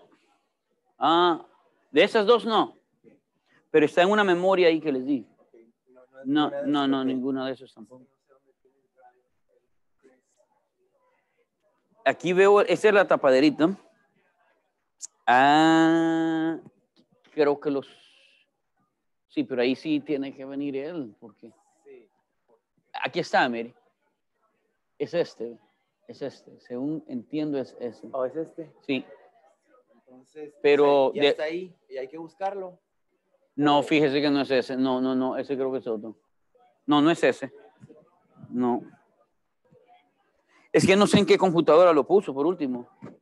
Ah, no, aquí creo que vino. Creo que vino para acá. Veamos, pero no, tampoco no está aquí. Y él no está. Ahorita lo voy a buscar. Ah, ¿usted, ¿Carlos o Ramiro? Ramiro, Ramiro. Ramiro. Sí. Miré a Carlos ahí al principio. Ok. Claros, claros. Soy Claros. Ramiro Claros. Oh, claro. ¿no? Claros, Ok. sí. Ah, yo en realidad no estoy a cargo de esto. Yo nada más por acomedirme por ayudar a Chris porque yo sé que él está en todas partes ahorita. Sí. Ah, voy a ver si lo puedo conseguir. Referente a lo que está diciendo, yo me identifico con todo lo que está diciendo, porque de hecho, ah, Will Mata es mi pastor Ah. en la clase en español y yo soy parte de la iglesia, ¿no? Pero Dios me está llamando a México. Yo soy mexicano, yo voy a regresar a México. Y yo voy a decir, entre comillas, que me he resistido porque no quiero, porque no he logrado aquí mis objetivos y mis metas. Aparte, tengo una hija aquí que no quiero dejar. Ah, entonces, es un poco, es, es- es una mezcla de, de muchas cosas. Ah, una, sí, me resisto, pero primero no entendía cuál era exactamente, qué era exactamente lo que Dios quería. Eh, el problema es que tengo aquí casi 17 años, entonces no es como que no es tan fácil, pues ya. Sí. A ver. Ahora, hay otra cosa que, que, que yo le, le comento, y, y esto eh, para mí es difícil explicarlo, porque yo conocí, yo, yo nací de nuevo cuando tenía 24 años. Ah, yo ya era un adulto, con todos mis vicios y malos hábitos, etc. Entonces, para mí lo difícil es, ahorita que comentaba usted, ah, usted nació en la iglesia, ¿no?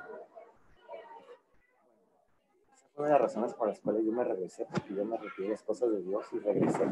Es una larga historia, pero una de las razones principales es porque yo quería que mi hija creciera en la iglesia y no batallara lo que yo he batallado, porque mi estilo de vida tenía que yo alinearlo con las cosas de Dios y esto para mí era difícil. Ujú. Oh, we're keeping those, you mean the doors? They said the bathrooms, we could use these. Oh, yeah, all- we're trying to keep them open because once you, we close the doors, they. and open. Ujú.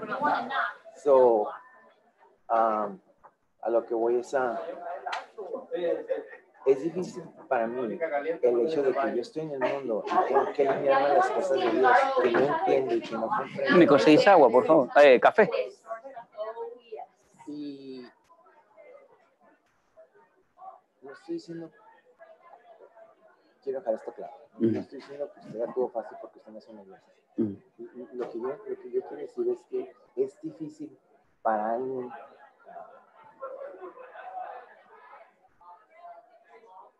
venir a las cosas de Dios cuando no sabemos de qué se trata. Obviamente el crecimiento espiritual, aunque nos dediquemos y permanezcamos, lleva tiempo. Somos tiempo, Porque correcto. algo que obviamente nunca Dios dice en la Biblia. Cuando Dios habla de la expresión de Job, por ejemplo, nunca dijo cuánto tiempo tardó para que Dios lo restaurara. Cuando dice pedir se os dará, nunca dice, no dice exactamente ahí las condiciones. Que tenemos que buscar Biblia donde dice pedir se dará, bueno, pero si pides de acuerdo a su voluntad y si obedeces mis mandamientos, entonces hay un montón de condiciones para lograr eso, pero tampoco menciona el tiempo. O lo lograrás después de un año. Entonces, para que una persona entienda todo eso y crezca espiritualmente, digo, oh, I get it now. Yo puedo decir que yo tengo 29 años casi, yo voy para 30 años en las cosas de Dios, on and off, eso sí, o sea, no estuve, porque he tenido varios tropiezos, divorcios, crisis económicas, salud, situación. Pero me ha llevado todo este tiempo a entender Ujú. y entonces digo, a veces yo me pongo a pensar, y lo digo abiertamente, no quiero, no quiero ser ofensivo, pero ¿cómo espera Dios que nosotros entendamos algo como esto? Y, y, y, a veces, como en mi caso, como decía yo, yo he tomado decisiones y, he, he estado en línea con la voluntad de Dios. Pero en mi vida yo tengo, vaya, decisiones que tomar. Dios no está ahí para decirme, oh, espérate, no te vayas para allá. Y yo voy en ignorancia, no porque no lo haya buscado, no porque haya querido premiarlo. Pero luego pago consecuencias por algo que. Entonces, lo, lo que quiero decir en pocas palabras es. eh, no es fácil, y, y- y por eso no es fácil cuando presentamos el Evangelio a gente que no conversa, ellos no lo asimilan, no lo entienden. Si nosotros que estamos dentro nos lleva tiempo, y es una curva de aprendizaje y tiempo, conocimiento y tiempo para lograr estar en un punto en donde, oh, ok, ya lo entendí. Es para mí bastante difícil. Y entre más entiendo yo de las cosas de Dios y entre más aprendo, más me convenzo que es, es los estándares de Dios son muy altos. Sí. Y, y- y de hecho, yo siempre lo he dicho de esta manera, y, y lo, lo- lo digo así, Dios quiere moldear a la imagen de Cristo. Cristo fue el hombre perfecto, sin pecado, etc. Pero tan difícil es que no ha habido más que uno, Mm. y solamente Él, por eso no ha habido nadie más, Y no va a haber más. y no va a haber nadie más. Y hay, hay, ha habido hombres de Dios, y sí dedicados a Dios y todo, pero tenemos en la Biblia un ejemplo desde, desde el mismo Moisés, cuántas veces fracasó, desde Jonás, Elías que se quería morir, cuando Jonás desobedeció, o lo Sí. que le pasó, etcétera. Pero lo voy a parar porque usted no va a agarrar breaks si no lo Sí, deja no, aquí. no, no, no, no, no, estoy bien. Pero yo, yo quiero decir eso, yo quiero que Dios puede usarla igual. Igual, ¿por qué no? O sea, es que Dios, como vamos a ver un momentito, Dios no le puso ningún límite, si fracasas tantas veces, ya no. Algo que me gusta, por eso me gusta el libro de Ageo. Ya había fracasado del norte, fracasa al sur, y vuelven a fracasar aquí. Y todavía les dice, hey, hombre, los quiero bendecir, hagan lo que les he dicho. Eso sí lo entiendo. Y, y- ah, Ramiro, mucha gente me lo dice. ¿Eh? Desgraciadamente, a mí se me está acabando la vida. ¿Sí? Y, y- y la vida en la tierra es finita, no es infinita. Y Ahora, pero hay que ver a qué Dios le ha llamado, porque no nos va a llamar a todos a ir a abrir una iglesia, vamos a hablar de esto, ni a para, pero a qué Dios me ha llamado. Yo diría esto, yo comenzaría aquí, haciendo discípulos aquí. si yo eso, porque es otra historia. Ok. Y, y- y a veces hasta me da miedo pensar lo que viene, Ah, por a el mí- llamado que Dios tiene. Sí, Porque todavía para mí es cierta incertidumbre, pero yo sé que implica algo. son pasos grandes. Es- Y es una responsabilidad. Correcto. Lo dejo que descanso. Ok.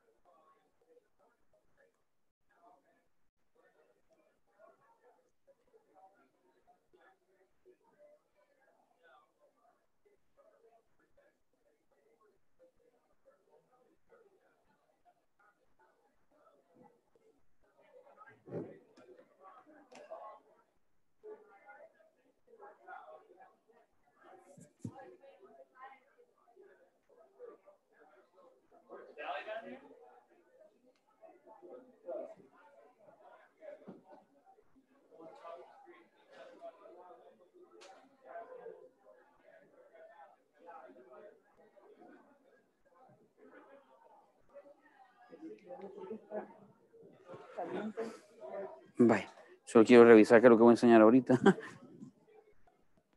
Oh, pero estamos bien. ¿Qué tal? How are you? Doing good. Yeah. Yeah, Are you? I'm I'm talking too too fast. You getting? es que en español yo entiendo casi todo. Sí. Es que muchas veces no me puedo explicar lo que yo quiero decir. Igual el lado de inglés, sí. Entiendo todo. Es yo ah, ah, yo entiendo el inglés, Ujú. pero darme a entender en inglés, Ah. esa clase en inglés, no. Right. Right. No, it's good. Yeah. Awesome, we'll do that. Yeah, I'm sorry, I didn't even send the link there. No, no, no, that's right. I didn't even- And we gotta load another presentation. Yeah, is Yeah. it the, uh, No, uh, the, a third one. I'm sorry. Yeah.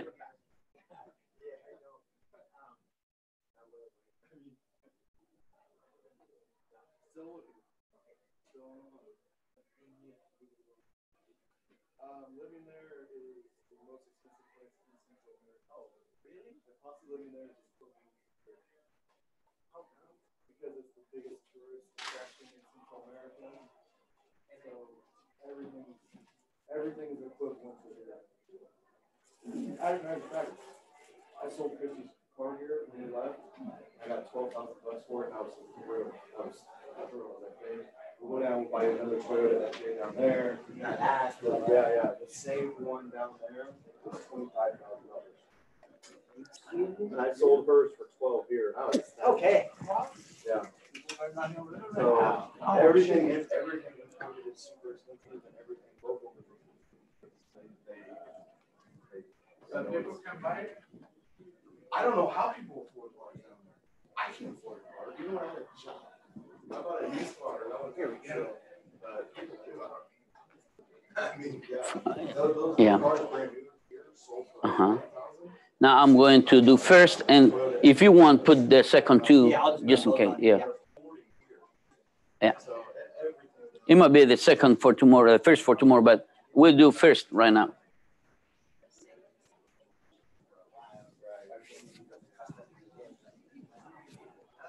Okay? Is it. Thank you. Terrific. Let's make sure this is still. Yeah. Julio, there you go. Awesome. Are you, st- are you muted right now? No? So yeah, we gotta remember when you're, um,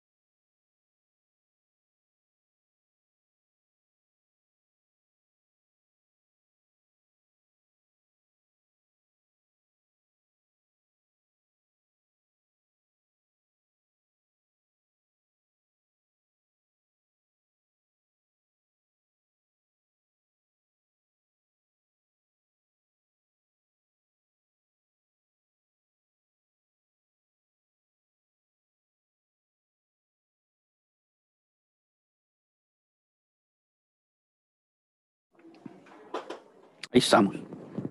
Ok. Bueno, hemos llegado hasta este punto donde no hemos entrado a Geo, y te, te aclaro, no vamos a entrar tal vez hoy a Geo todavía, pero sí hemos hablado de, de la necesidad de entender todo el contexto. Es que el libro de Ageo solo tiene dos capítulos. Y si solo los leo por leerlos, no logro captar todo lo que ahí está pasando. Quien sea que escribió el libro de Ageo, entiende que la bendición había sido prometida a Abraham y le había sido aclarada a Moisés que si obedecían les iba a bendecir y había sido eh, una y otra vez anunciada por los profetas diciendo, hey muchachos, si no cumplen, eh, si no obedecen, Dios no va a bendecirles. Y llegamos hasta este punto donde entendimos que la bendición depende del cumplimiento de la misión. Y la misión que tenía eh, Israel en ese momento no era tan complicada como terminamos la sesión anterior. Solo era construir el templo. Era todo, o sea, nada complicado. Nada. Es como vamos a ver al final de esta sesión. Hacer discípulos no es la cosa complicada. Lo complicado lo hace Dios y nos pone una parte para hacernos sentir partícipes. Pero de repente nos sentimos como que lo que nos ha puesto es demasiado grande. Hermano, yo quiero coger ahí donde nos quedamos anteriormente. Si no cumplimos la misión, no habrá bendición. yo te aseguro que hay mucha gente hoy en día a la que Dios estaría bendiciendo exageradamente, pero no quiere obedecer.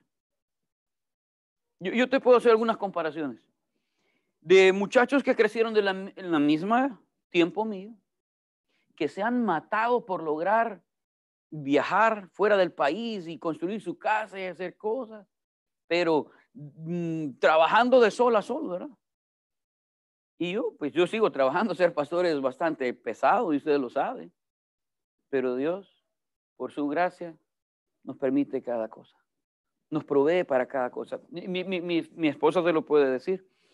Si algo nos hace falta en casa, y platicamos y me dice, Ramiro, no tenemos X asunto y lo necesitamos. Y le digo, mm, si lo necesitáramos, nos lo va a dar Dios. Si lo necesitamos de verdad, si es una necesidad, Dios lo va a dar. Y hasta el día de hoy, esa es nuestra filosofía. Decimos, Dios no nos lo ha dado, no lo ocupamos. una cosa sé, cuando Dios ve, hey, Ramiro ocupa esto para la misión, ahí está. Dios lo pone. Eh, cuando me fui a Corinto, me fui ganando 125 colones.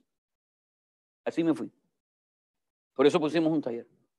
125 colones serían 10 dólares. 12 dólares al mes. Así me fui. Pusimos el taller y del taller nos sostuvimos. Nos sostuvimos. Eh, hasta el día de hoy, Dios nos ha provisto. Vivo, vivo en una casa que yo no puedo pagar. Yo no puedo y no me da pena decirlo. Eh, Dios ha provisto a un buen hombre de él. Eh, y no es gringo. Eh, un hispano, mi hermano, dice, Ramiro, yo voy a hacerlo. Mi oración, Dios, bendícele y proveele, ¿verdad? Para que podamos ir aquí. ahora no tenemos casa. ¿En nuestro anhelo construir una casa? Sí. ¿Con cuánto cuenta para construir su casa? Con nada. Con nada. Solo con el deseo de. Pero cuando Dios sepa que es una necesidad, Dios dice, toma. Pero no queremos creerle a Dios. Ahora tenemos que hacernos una pregunta esta, esta mañana, en esta segunda sesión. Es, ¿tiene la iglesia una misión? ¿Tiene la iglesia de Dios una misión? Ahora, yo sé que es fácil decir que sí, y yo sé que todos los que me van a oír van a decir, ah, sí, sí, sí. Eso ya lo entiendo, ahí, tenemos una misión. Yo quiero que nos detengamos, porque a lo largo del libro de Ageo vamos a estar hablando de la misión y de la misión y de la misión. Pero ¿cuál es la misión? Y es aquí donde tenemos ciertos problemas para entendernos. ¿Qué es la verdadera misión? Porque eh, al hacernos la pregunta, ¿cuál es la misión de la iglesia? Encontramos que algunos creen que la misión es recibir a Cristo. Pero recibir a Cristo solo es el comienzo de la misión. no es la misión en sí. La misión no es bautizarse. Esto apenas es el primer paso de obediencia. Esa no es la misión. Ah, ¿Es la misión eh, eh, congregarte? No, la misión no es congregarte. Esto solo es parte de la vida misma, parte vital de la vida cristiana. No estoy diciendo no te congregues, es, es vital, pero esa no es la misión. O sea, yo no puedo venir a todos los cultos y decir, ya hice lo que tenía que hacer. Ya ahora Dios me tiene que bendecir. No, esa no es la misión. Tampoco la misión es ofrendar. Ahora, yo te animo a ofrendar. Eh, De hecho, eso, eso solo resulta de un corazón agradecido. Por alguna razón, por alguna mala razón, nos enseñaron a los bautistas que no habláramos de ofrendas. Ahora que rentamos en un hotel, mucha gente me dice, ¿por qué en un hotel? Le digo, mira, hagamos cuentas. Vamos a ver y vas a te vas a dar cuenta que nos sale más barato que estar alquilando un lugar. eh, y, porque en el hotel, ahora en el lugar donde estamos, no me preocupa si se arruinó el aire o quién limpió o si se arruinó algo, ellos tienen que arreglarlo. Y la mayoría de gente que te pregunta por qué lo haces así es la gente que siempre le duele dar algo. Y, y cuando vamos a hacer algo, ellos, algunos me dicen, ¿por qué no le pones que es gratis? Es que no es gratis. El hotel vale plata, no es gratis. Yo pago, o sea, pagamos para que eso suceda. Pero es que la gente no va a venir si hay que poner plata. Sí, pero a la discoteca le cobran. Va al, al centro comercial, le cobran. Se sube a un taxi, le cobran. Todo es plata. Pero en la iglesia no podemos hablar de plata. No, es una locura que nos hemos metido en la cabeza. Si para que esto funcione se ocupa plata. Ahora, pero tampoco es la misión. O sea, no me puedo sacar 10 mil dólares y decir, ya cumplí. Gracias a Dios por los hombres de Dios a los que Dios les ha provisto para bendecir la iglesia y para que esto funcione, pero esa no es la misión total. De, hecho, no es la misión. Ah, bueno, eh, y te lo voy a poner en rojo. La misión no es hacer un viaje misionero. ¿Sabes yo- algo que, que me molesta de, de muchas iglesias? Es que están satisfechas con que ya fueron a pasear a algún lado. De hecho, un viaje misionero solo podría ser turismo. Haz una prueba. Di que vas a ir a Corinto, Morazán o a Cacaopera y ves cuántos se anotan. Y luego les dice que hay un viaje misionero a Cancún. Y me avisas cuántos se anotan. Ah, es fácil. Es fácil, es bien fácil notarlo. Ah, vamos a un lugar famoso donde hay turismo, ahí va todo el mundo. No importa cuánto vale. Pero si todo lo que te ofrecen es caminar por una montaña y hacer evangelismo y, y- ir a buscar al perdido, ay hermano, fíjate que no me siento como llamado por Dios para esto. Ah, y no estoy diciendo no vayas a viajes misioneros, por favor, ve a todos los que puedas, es bueno. Pero esa no es la misión. Tampoco la misión es predicar. Esto podría serlo, eh, eh, podría serlo, eh, sea, necesitamos predicar, pero sin necesariamente decir esa es la misión. Eh, el problema es que a veces pienso, bueno, ya prediqué, ya, ya hice mi sermón, ya estoy satisfecho. La misión tampoco es orar. Esto solo te da fuerza para vivir la misión. Eh, eh, quiero que entiendan, hay una serie de todo eso es bueno y todo eso necesitamos hacerlo. Necesitamos predicar, si necesito dar ofrendas, si necesito orar, si necesito congregarme, sí, pero no es la misión. O sea, no confundamos las cosas. Hay cosas que son importantes, que son mandato de Dios, por cierto, pero no son la misión. Ahora, hagámonos esa pregunta. ¿Cuál es la misión de la iglesia el día de hoy? Si entendemos eso, vamos a entender el resto del libro de Ageo cuando vayamos haciendo las comparaciones. Entonces, detengámonos a eso. Yo te, propongo esto, esta es mi tesis. La tesis es que la misión de la iglesia es glorificar a Dios y hacer que Él sea glorificado. Ahora, déjame aclararte, nada de lo que te estoy enseñando es original del pastor Ramiro, no. Ah, Con mis 41 años, Dios me ha permitido aprender de muchos hombres de Dios, de muchos. Que le digo a Eugenia, son esos 10 minutos que Dios siempre me regala, fíjate. Llego a Kansas, me recoge el pastor Alan y él, él, él iba a recoger a alguien más, se atrasa el vuelo y tenemos media hora para platicar sentados tomándonos un café. Son de esas cosas que Dios me ha permitido toda la vida y te puedo dar una lista de hombres así con la que Dios me ha permitido sentarme. El pastor Sam llegó a nuestra iglesia lo fui a dejar al aeropuerto, lo fui a traer. Muy buenas pláticas. Y en cada una de ellos aprendo cada vez que platico con ellos. Ahora, mucho de lo que voy a enseñarte no es algo que yo me senté a inventarlo, cosas que he aprendido y cosas que, que he visto que son así. Esta es la misión de la iglesia, glorificar a Dios y hacer que Él sea glorificado. De eso se trata. ¿Cómo puedo saber que mi iglesia está cumpliendo la misión? Ah, bueno, esto, si glorifica a Dios y hace que otros le glorifiquen. Esa es mi tesis y déjame defenderlo con la Biblia. Ahora, pero definamos entonces, eh, y aquí tenemos un problema que se nos está moviendo la presentación. Definamos, va a salir montado. Ha habido un- cuando cambiamos de, de PowerPoint, de computadora a computadora, suceden estas cosas, pero todavía se logra ver. La definición es que eh, es el acto de exaltar, magnificar, honrar, hacer glorioso, adornar con lustre, hacer que, que la dignidad y el valor de alguien o algo sea manifestado o reconocido. Eso es glorificar, es hacer grande el nombre de aquella persona. La definición de, de, glorificar es también eh, tomada como el acto, eh, o glorificar es reconocer y ensalzar al que es glorioso, tributándole alabanza. Eh, podemos también definirla como darle la gloria que solo Él se merece. Jesucristo dice, ¿verdad? En, cuando está por ascender a los cielos, dice, glorifícame con aquella gloria que tuve al lado tuyo. Eso es glorificar, es- esa es la misión de la iglesia, es darle la gloria que Él se merece. Pero aquí viene la pregunta, ¿cómo puedo glorificar a Dios?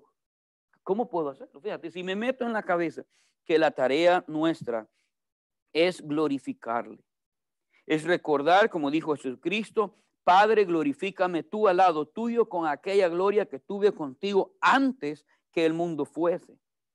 Si tengo esto en mi cabeza, que sea lo que sea que yo haga, tiene que exaltar el nombre de Cristo, tiene que ponerle en alto. Entonces la ruta de la iglesia va a estar en la dirección adecuada. Y aquí viene la pregunta, que si, si, si la misión de la iglesia es glorificar a Dios, entonces tengo que preguntarme, ¿por qué tengo que glorificar a Dios? O sea, ¿por qué tengo que hacerle conocido? ¿Por qué tengo que ir a México o a Colombia o a Argentina o al Uruguay o a El Salvador? ¿Por qué tengo que ir para decirle a los demás cuán grande es su nombre y hacerlo magnificado su nombre, ¿verdad? Hacer que todos conozcan su glorioso nombre. La pregunta que tengo que hacerme es ¿por qué tengo que hacerlo? ¿Por qué, te- por, por qué debiese yo dejar mi comodidad en los Estados Unidos e irme a un lugar donde no sé si voy a comer? Mira, Dios, Dios es, Dios- es tremendo. Cuando estaba en Corinto yo sabía que habíamos llegado al tiempo en que teníamos que salir. Le decía a Dios, donde querrás menos San Miguel. Ese calor es horrible y, y lo es. Ahora Dios es Dios y dijo, bueno, como aquí no manda usted, aquí mando yo, usted va para San Miguel. Y ahí estamos en ese calor. Decir, Después de un año, el cuerpo ya empezó a, adaptarse. Salí a correr a las 2 de la tarde eh, varias veces en la semana para que dije, bueno, la única forma es que este cuerpo se adapte. Y ahí va, adaptándose. Nunca me va a gustar el calor, pero ahí estamos. Ahora fíjate, glorificar a Dios. ¿Por qué ir a un lugar donde no me gusta? Porque si tú estás pensando que yo soy en San Miguel porque me gusta, no me gusta. Ahora que hay discípulos de Jesucristo que están empezando a crecer, ahora me gusta. Porque ahora la vida tiene más sentido con discípulos de Jesucristo. Ahora, pero ¿por qué? ¿Por qué tengo que glorificarle? Ah, yo creo que tenemos que hacerlo porque la Biblia lo manda. La Biblia dice, porque habéis sido comprados por precio. Glorificad pues a Dios en vuestro cuerpo y en vuestro espíritu, los cuales son de Dios. Fíjate lo que dice. Eso dice P- Primera de Corintios eh, 6, dice, glorificad pues a Dios. Por eso, por eso debemos hacerlo, porque la Biblia lo manda. Glorificar, ¿cómo lo voy a glorificar? Con mi cuerpo. Glorificad pues a Dios en vuestro cuerpo. Mira, glorificar a Dios no es venir a levantar las manos, no es venir a- a estar llorando en un culto. Bien por lo que quieren hacerlo. El asunto es que glorificar a Dios es poner tu cuerpo al servicio de Él. Por eso debo glorificarle, porque Él lo mandó. Ah, pero hay otro pasaje más. Allá en el Salmo 96, 3, el Salmo 96, 3 dice, proclamad entre las naciones su gloria. Fíjate lo que dice, proclamad entre las naciones su gloria, en todos los pueblos sus maravillas. Esa palabra naciones es la palabra paganos, es la palabra perdidos. Es ir a donde están los pueblos, las, las, estas naciones donde viven a su manera y viven como les da la gana. ¿Y qué tengo que ir? Es ir a, a esos lugares para proclamar su gloria.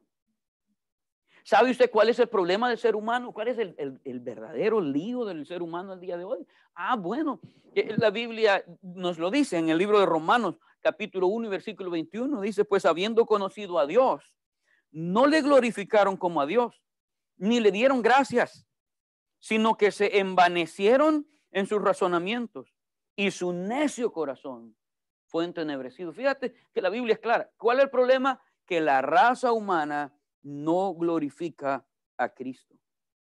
Ah, aquí tenemos que entender algunas cosas entonces, tenemos que recalcar algunas cosas. El problema de Latinoamérica no es la pobreza. El problema de Latinoamérica no son los gobiernos corruptos. Por supuesto que eso es un problema. Por supuesto que eso nos hace la vida difícil. Pero el verdadero problema es que la gente no glorifica a Dios. ¿Por qué estoy diciendo esto? Porque algunos creen que arreglan todo con llevar las bolsas llenas de plata y empezar a regalar 10 dólares en cada... Tengo 41 años y lo quiero, voy a intentar decírtelo con el mayor de los respetos posible. Pero es increíble ver al grupo, a grupos americanos llegar. Les, a- yo les amo, eh, disfruto verles llegar. Pero de repente van por la calle y ven a un niño que está descalzo y, y- está sucio y empiezan a llorar. Pobrecito. Yo digo, si eso le cambiara la vida a ese niño, pues yo me pongo a llorar también. Pero yo he visto gente llorar por la gente pobre y no lograr nada. ¿Sabes qué sí he visto? Que le compartimos a Cristo a esa gente y Cristo comienza un proceso de transformación, no económico, comienza en el corazón. Más tarde las cosas mejoran. Fíjate, en Cacaopera, una de las misiones que te enseñé, cuando llegamos la primera vez era un lugar lleno de tuberculosis y de hepatitis. Y viajábamos, había, solo hay 11 kilómetros de distancia de Gotera a este pueblo. Y nos decían, cuidado, no reciban agua, no coman, peligroso. Yo soy salvadoreño y em, ¿qué me, qué me va a hacer? Mucho. Pero íbamos con cuidado. Era triste que te ofrecían comida y tú sabías que ahí había todo un, un foco de infección tremendo con esas cosas. Fuimos, se plantó la iglesia. Estos hermanos vivían en, en- en esas casitas, ¿verdad? Que se caían. Ranchitas mal hechas. Tú vas ahora. Y es, es, es riquísimo comer de lo que algunas de estas hermanas cocinan. Increíblemente. Eh, tú vas a la iglesia de Cacaopera y ves una banda, ves una banda de música. Ah, Tocan el bajo, la guitarra, la batería. Y yo siempre me río, me río porque les conozco. Ahora, la esposa del pastor se enoja conmigo a veces y me dice, usted le dice cipote, porque yo le digo, estos bichos yo los conocí culichosos. ¿verdad? Porque cuando llegamos eran panzoncitos. Y ahí arruinaditos, ¿verdad? Eugenia y yo éramos, ya, ya teníamos alguna relación probablemente en ese entonces, o quizás no, solo éramos amigos en la iglesia, pero íbamos a trabajar como, eh, a dar clases de niños, a ayudarle al pastor que estaba ahí. Sacábamos piojos, trabajábamos con los niños. Mira, tú ves a esos muchachitos hoy, crecidos, tener hogar, tocar un instrumento increíblemente. Las cosas han cambiado, pero no han cambiado porque vamos a repartir plata. Han cambiado porque llegamos a comprender que si hay algo que le va a cambiar la vida a la gente, es hablarles de la verdad. Es hablar de lo que Dios han hecho. Que el problema de ellos no es ser pobre. El problema de ellos no es que no tienen plata. El problema es que no glorifican a Dios como a Dios. Si logras captar esto, te vas a dar cuenta que llevamos a la gente a glorificar a Dios y Dios hace un cambio radical. Mira lo que dice Primera de Pedro. Primera de Pedro, capítulo 1, versículo 18, dice, sabiendo que fuisteis rescatados de vuestra vana manera de vivir, la cual recibisteis de vuestros padres, no con cosas corruptibles como oro o plata, sino con la sangre preciosa de Cristo, como de un cordero sin mancha y sin contaminación. ¿Qué, debe motivarme a, llevar a- a glorificar a Dios? Ah, me debe motivar el hecho de que Dios pagó por mí un precio alto. Esa es la razón por la cual yo debo estar agradecido. Ah, fíjate, Dios me rescató y me rescató de la vana manera de vivir. ¿Cómo lo hizo? Con la sangre preciosa de Cristo. O sea, Jesucristo no vino como un Santa Claus regalando casas y regalando carros y regalando ropa. Y tenía toda la plata del universo para hacerlo. De hecho, ni siquiera ocupaba plata, solo ocupaba decir, sea un par de ropa, un par de zapatos y la cosa estaría. Pero lo que vino fue a derramar su sangre. Si logramos entender eso, entenderemos que la misión tiene que ver con predicar la sangre de Cristo. Que lo que nos debe motivar a ir y hacer que otros glorifiquen a Cristo debe ser la gratitud por lo que Cristo ha hecho con nosotros. Eso nos debe de llevar a glorificar a Dios. Hechos 20, 28. Hechos 20, 28 dice, por tanto, mirad por vosotros y por todo el rebaño en que el Espíritu Santo os ha puesto por obispos para apacentar la iglesia del Señor. Y oye esto, la cual él ganó por su propia sangre. ¿Por qué debo ir a un país, a un pueblo y, lo, y, predicar y glorificar a Dios en ese lugar? Ah, porque Cristo le costó su sangre el poder ofrecernos el perdón. Hebreos eh, 12, 28, así que recibiendo nosotros un reino inconmovible, tengamos gratitud y mediante ella sirvamos a Dios agradándole con temor y reverencia. Ah, entonces lo que hemos hablado hasta ahora, ¿cuál es la misión de la iglesia? Es glorificar a Dios. Hemos dicho, ¿por qué tengo que glorificarle? Porque es un mandato. Porque Él dijo glorificar pues a Dios en vuestros cuerpos. Porque Él dijo que fuésemos a glorificarle predicándole en las naciones. Pero lo que nos debe mover es eh, esa gratitud que tenemos por lo que Él ha hecho por nosotros. Por favor, no te metas en la misión por lástima. No te metas en la misión pensando, es que pobrecito, ¿verdad? Los hermanitos allá no tienen nada. Eso no le cambia la vida a nadie.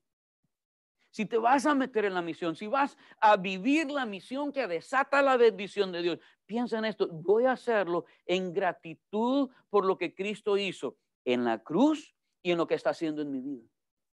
Agradecido con Dios. No dejes que sea la lástima la que te mueva, que sea la gratitud, el agradecimiento por lo que Dios ha hecho por nosotros. Pero viene la pregunta, ¿cómo? ¿Cómo puedo yo glorificar a Dios? Yo, creo que hay pocas maneras en que podemos hacerlo. Ah, hay muchas, hermano. Mira, cantando, espérame. ¿Qué dice la Biblia? ¿Cómo puedo glorificar a Dios? Bueno, primero dice el libro de, el libro de Juan, capítulo 15 y versículo 8. En esto he glorificado mi Padre. ¿En qué? En esto he glorificado mi Padre. En que llevéis mucho fruto y seáis así mis discípulos. ¿Cómo puedo glorificar a Dios? Llevando mucho fruto. Nota, no es repartiendo plata por todo. No, no te preocupes, ¿quieres repartir plata? Pues yo me voy a poner en la fila también, ¿verdad? Y, y con gusto. No hay un problema. Pero ¿va a glorificar eso a Dios? No, mira, así glorificamos a Dios, llevando mucho fruto. Eso es lo que no queremos comprender. Que para glorificar a Dios, no soy yo el que me invento cómo. Ya la Biblia dice, ¿cómo puedo glorificar a Dios en mi vida? Déjame, antes de ir más adelante, déjame hacerte una pregunta. ¿Estás glorificando a Dios? ¿Sí? ¿Cómo? Ah, pastor, yo voy a cantar a la iglesia. ¿Es la manera en que, damos, en que lo glorificamos? No. Aquí dice cómo. Llevando fruto. Si no llevas fruto, no estás glorificando a Dios. Fácil, sencillo. Si no estás llevando fruto. Y fíjate, no solo fruto, mucho fruto. no le estás glorificando. En esto he glorificado a mi Padre. Ahora aquí tenemos que hacer nosotros. Buena pregunta. Y, y perdón por las letras que eh, no tiene esa compu, entonces se disparan. Mañana corrijo esto, pero fíjate, ¿cómo puedo llevar mucho fruto? Ahí tengo que preguntarme. Aquí es donde empiezo a pensar, ¿cómo puedo llevar fruto? Ahora, si te estás preguntando qué tiene que ver esto con Ageo, los de Ageo tenían una misión y no la cumplieron y por eso no hubo bendición. Si nosotros no entendemos nuestra misión, no vamos a vivir nuestra misión. Y si no vivimos nuestra misión, no habrá bendición. Entonces quiero que nos detengamos y entendamos esto. ¿Cómo puedo llevar fruto? Ese fruto que glorifica al Padre. Si la misión es glorificar a Dios, vamos a la Biblia y entendamos qué dice la Biblia. ¿Cómo? Llevando fruto. ¿Cómo podemos llevar fruto? Bueno, Efesios dice que a través de la manifestación del fruto del Espíritu Santo. Dice eh, el libro de Efesios capítulo 5, versículo 22, más el fruto del Espíritu es amor, gozo, paz, paciencia, benignidad, bondad, fe, mansedumbre, templanza. Contra tales cosas no hay ley. ¿Cómo glorificamos a Dios? Aquí comienza el glorificar a Dios. Aquí comienza la misión. La misión de la iglesia es glorificar a Dios. Para glorificar a Dios tengo que llevar mucho fruto. El fruto que tengo que llevar tiene que ver con el fruto del Espíritu Santo. Pero mira, la gente quiere ir a las misiones, pero no quiere tener una buena vida. No quiere tener una vida que refleje el fruto del Espíritu Santo. Así no se puede. Sería mejor que te quedes donde estás y cumplas tu misión. ¿Cuál es tu misión? Glorificar a Dios.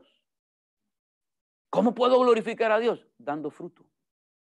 Aprendiendo a que el Espíritu Santo te llene y manifieste ese fruto en tu vida. Esa es la manera. Esa es la manera. ¿Sabes que hay algo que está dañando las misiones hoy en día? Es que envíen a gente a las misiones que ni siquiera en su iglesia, en casa, está manifestando el fruto del Espíritu Santo en su vida. Y a veces, ¿sabes cómo algunas iglesias mandan misioneros? Este ya no lo aguantamos, así que mandémoslo para una misión. Que vaya a echar problemas a otro lado. No, así no funciona. ¿Cómo puedo comenzar a glorificar a Dios? Ah, dejando que el fruto del Espíritu se manifieste en mi vida. Mira este otro pasaje. Mateo 5, 14, 16. Dice, vosotros sois la luz del mundo. Una ciudad asentada sobre un monte no se puede esconder, ni, ni se enciende una luz y se pone debajo de un almud, sino sobre el candelero y alumbra a todos los que están en casa. Así alumbre vuestra luz delante de los hombres, para que vean vuestras buenas obras y glorifiquen a vuestro Padre que está en los cielos.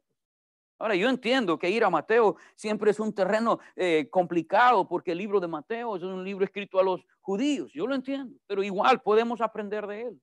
Podemos tomar lecciones importantes para nuestra vida. Fíjate lo que dice.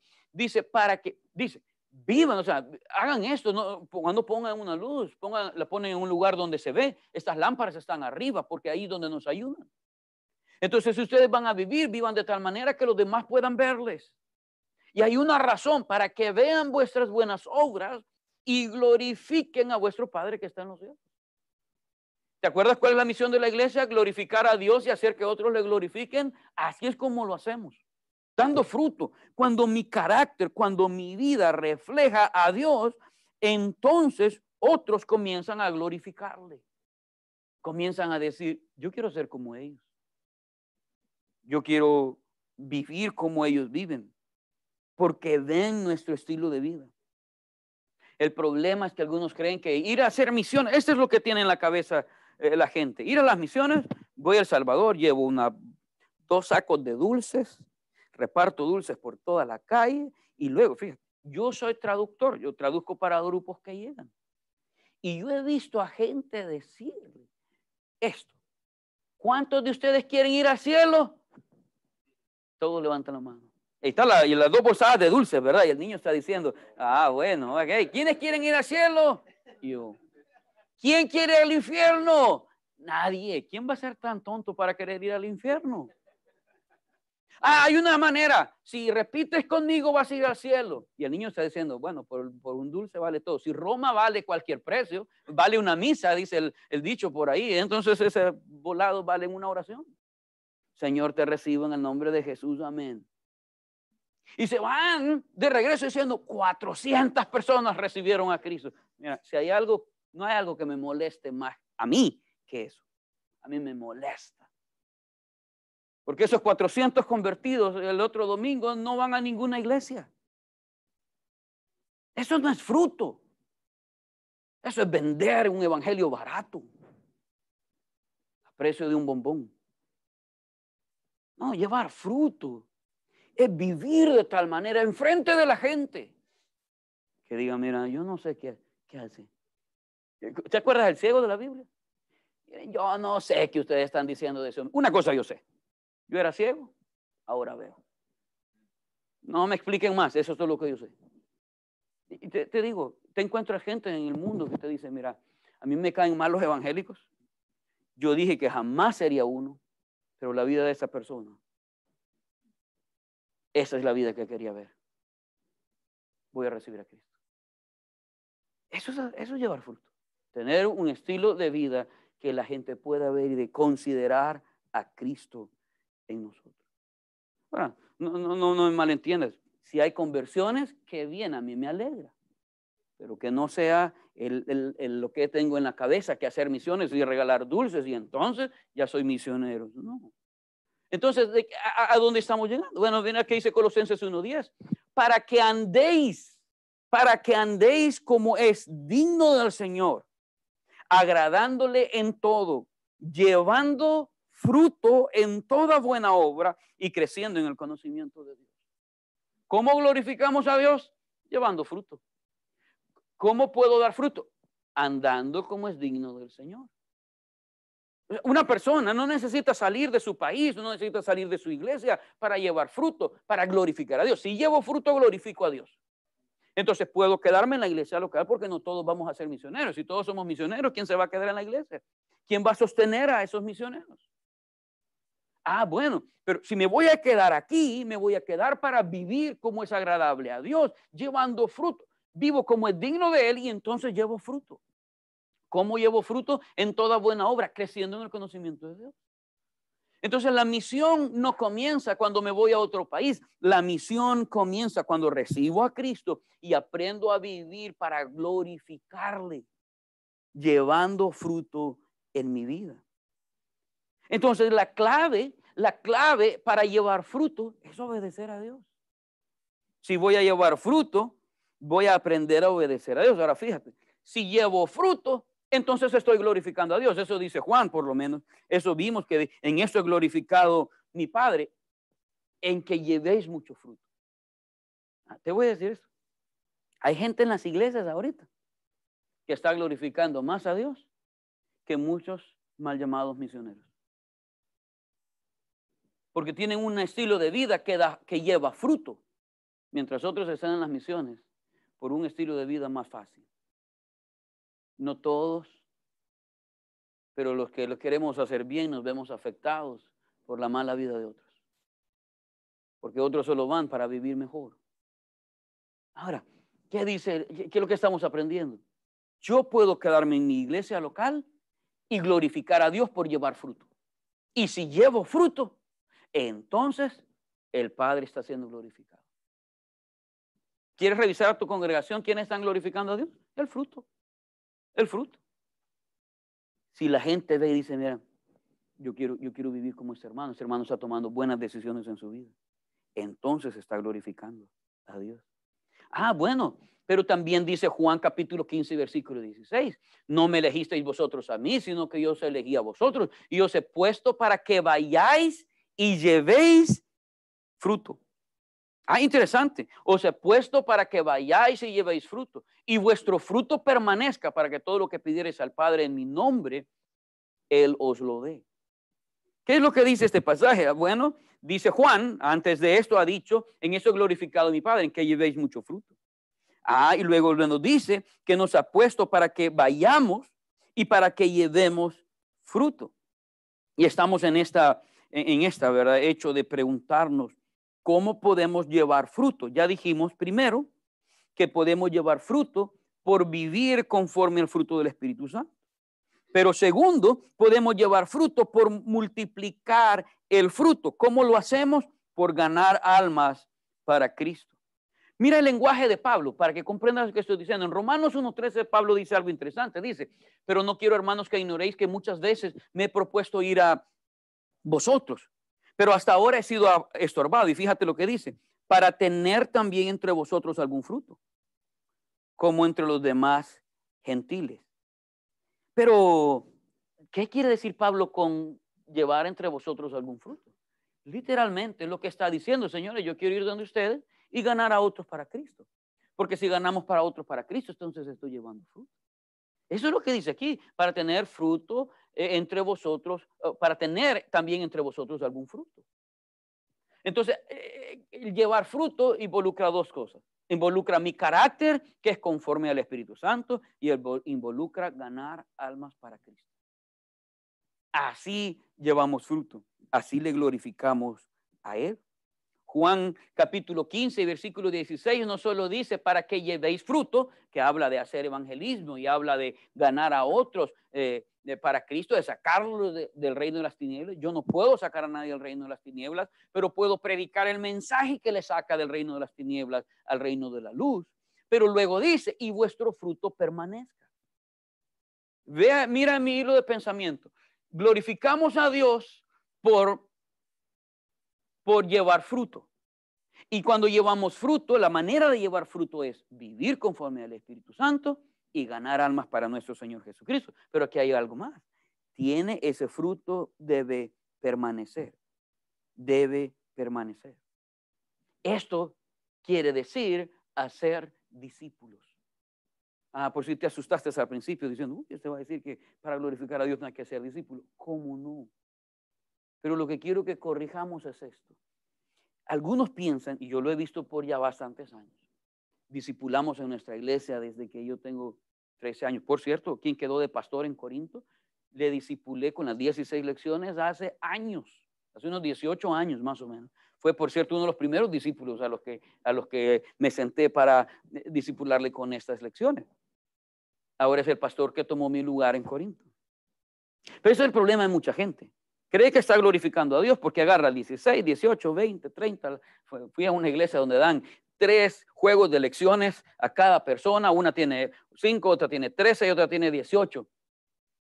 Y después de todo eso, una señora todavía tiene un montón de ídolos en su casa. Un montón de asuntos de catolicismo. Y ¿y qué pasó ahí? Ah, hubo cualquier cosa menos transferencia de vida. Pero hay gente que está pensando, yo estoy glorificando a Dios. ¿Y por qué? Ah, le he dado las 16 lecciones a 20 personas. Mm. Ya le di las 16 lecciones a 20 personas, ya glorifiqué a Dios. Pero si ese fruto no permanece, no, no estoy glorificando a Dios, lo siento. Lo siento. La única manera que puede permanecer es transfiriendo vida. Ahora, yo entiendo que hay discípulos que son falsos. Discipulé a un hombre por varios años mientras estuve en Corinto, quizás al que más tiempo le de- dediqué, y ahora está haciendo un desastre de su vida.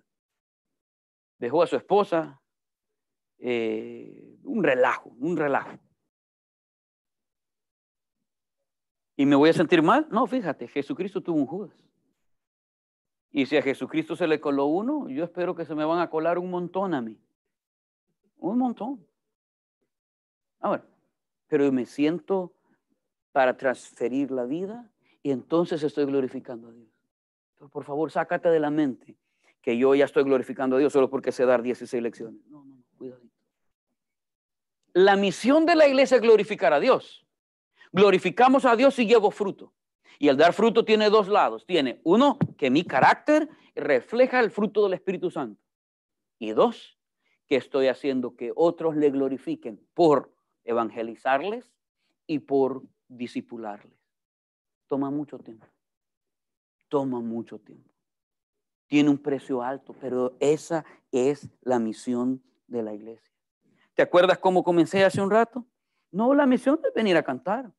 La misión no es venir a, a, a tener 10 mil conferencias. Qué bueno la conferencia. Gracias por invitarme.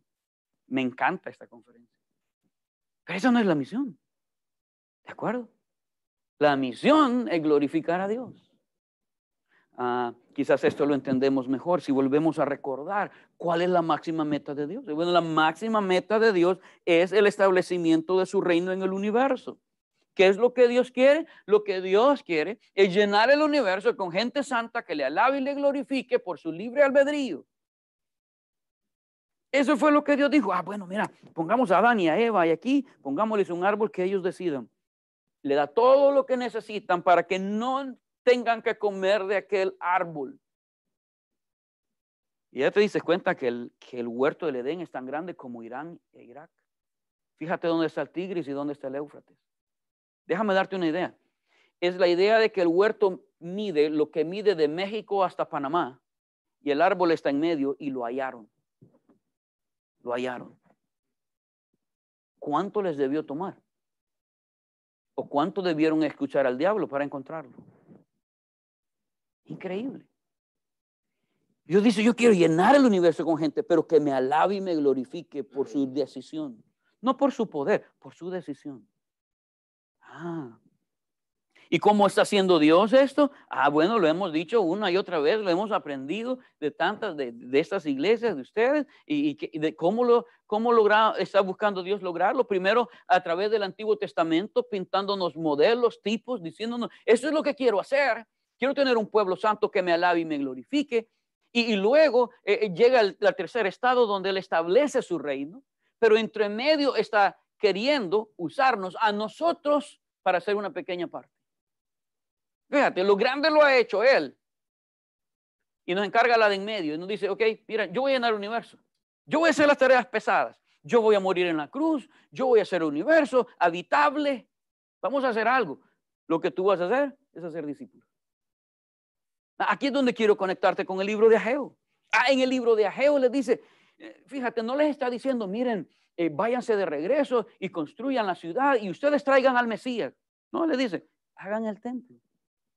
Yo voy a hacer todo lo que hay que hacer. Yo voy a, yo voy a calmar a los pueblos, yo, yo voy a traer al Mesías, yo, yo voy a reinar, yo voy a hacer todo.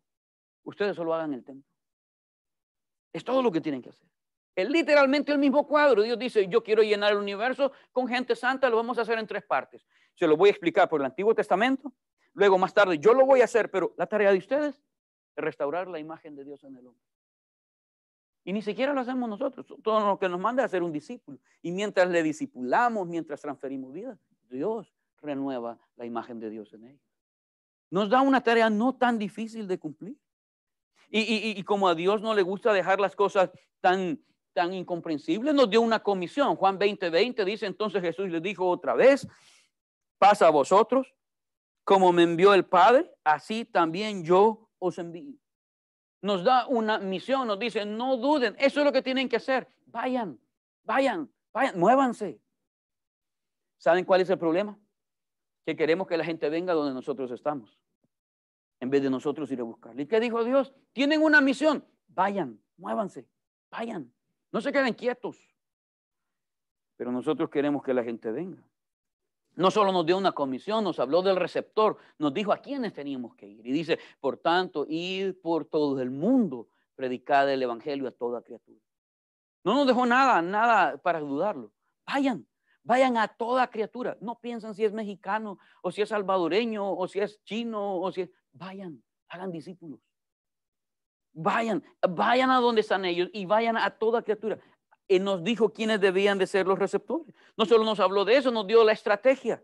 Nos dijo cómo podríamos hacerlo. Y dice en Mateo 28, 18, por tanto, id y hacer discípulos a todas las naciones. Y nos empieza a decir, ¿cómo lo van a hacer? Bautizando, enseñando y que guarden todas esas cosas. Y yo estoy con vosotros. ¿Qué, qué dice? Vayan. Esa es la estrategia. Vayan. Vayan y hagan discípulos. Nos dejó todo claro. Nos dijo, esto es lo, esta es la parte pequeña de ustedes, háganlo, pero muévanse. Mi hermano, en este frío de esta zona, tú podrías pasar años y no moverte. Años y no moverte. O puedes, por fe, decir, yo voy a ir. Pastor, ¿y dónde me voy? Me voy a esta Argentina. No, no necesitas ir tan lejos. Puedes irte a tu vecino. Puedes irte al siguiente vecindario. Puedes ir dentro de la misma iglesia. Hay gente que necesita recibir a Cristo y ser discipulado. Vayan, háganlo. No solo nos dio eh, eh, la estrategia, nos dio el contenido. Para, para los que somos un poco más eh, duros de la cabeza, ¿verdad? Los que somos un poco más difíciles de comprender, para que no estemos inventando, nos dio hasta que teníamos que decir y que se predicase en su nombre el arrepentimiento y el perdón de pecados. Pastor, pero es que yo no soy tan preparado como usted. ¿Te puedo decir algo? Nunca me he graduado de un gran seminario. Nunca. Nunca. ¿Me ha dado Dios la oportunidad de estudiar en algunos buenos, eh, o de algunos buenos hombres de Dios? Sí, claro que sí. Pero ¿sabes qué he descubierto? Por cierto, ho- hoy en día estoy estudiando una maestría en divinidades. Eh, recién acabo de terminar la segunda materia de Hebreo 2. De hecho, al regresar a El Salvador voy a saber si, la, si aprobé la materia o no eh, del lenguaje de hebreo. Complicadísimo. Pero ¿sabes qué, me, qué he descubierto? No importa cuántas cosas te metas en la cabeza, el mensaje que vas a predicar, el arrepentimiento y el perdón de pecado. Y para eso no se ocupa mucha cabeza. Se ocupa decir, Dios dijo, como Ageo, como vamos a llegar a Ageo, Dios dijo que se arrepientan y que hagan el templo. Ah, eso les dijo a ellos. Y aquí, Dios dijo que te arrepientas y para que te perdone tus pecados y puedas vivir con Él. No, no cuesta mucho aprenderse ese mensaje nos dijo que teníamos que predicar, pero que también nos dijo, nos dijo, nos dio la geografía y nos dio el poder. Hechos 1.8 dice, pero recibiréis poder cuando haya venido sobre vosotros el Espíritu Santo y me seréis testigos en Jerusalén, en toda Judea, en Samaria y hasta lo último de la tierra. No, no es muy complicado. Mira, dice Jerusalén, Judea, Samaria y hasta lo último de la tierra. Mira, Ve a todos lados. Pastor, pero no sé si agarrar para allá o sea, hay que ir a todos lados, vete para algún lado. Bien sencillo. Ahora, yo entiendo que yo quiero estar donde exactamente Dios quiera que esté. Pero somos tan complicados al preguntarle a Dios a dónde nos quiere. Y sabe que, Señor, ¿y me querés en Nueva York? Señor, ¿y me querés en París? ¿O, me querés en, en, a dónde, Señor? En, y empezamos a mencionar las ciudades que nos gustan. Y dice, muchacho, mira, lo que te mandé es hacer discípulos. ¿No estás seguro a dónde? Comienza ahí donde vivís. Hace discípulos ahí. Y cuando estés claro a dónde puedes ir, entonces vas. Pero hace discípulos. Ay, Señor, pero es que yo no puedo. Yo te voy a dar el poder. Yo te voy a dar el poder. No, no es en tu poder, es en el mío, dice el Señor. Pero somos tan terribles para poner excusas, como ellos. Como ellos, como los judíos, como eh, eh, lo que vamos a ver en Ageo. Hagan el templo. Ah, ya vas a ver, siete excusas. Siete. No, no era una ni dos, siete. Por lo menos, quizás hay más luego que lo estudies solito, pero por lo menos yo encuentro siete excusas que ellos pusieron para no construir el templo. Siete formas de pensamiento equivocadas. Lo mismo hoy en día, Dios dice, miren, esto van a predicar, a esto van a ir, esta es la orden que les doy. ¿Cuántas excusas vamos a poner? Quiero terminar esta sesión.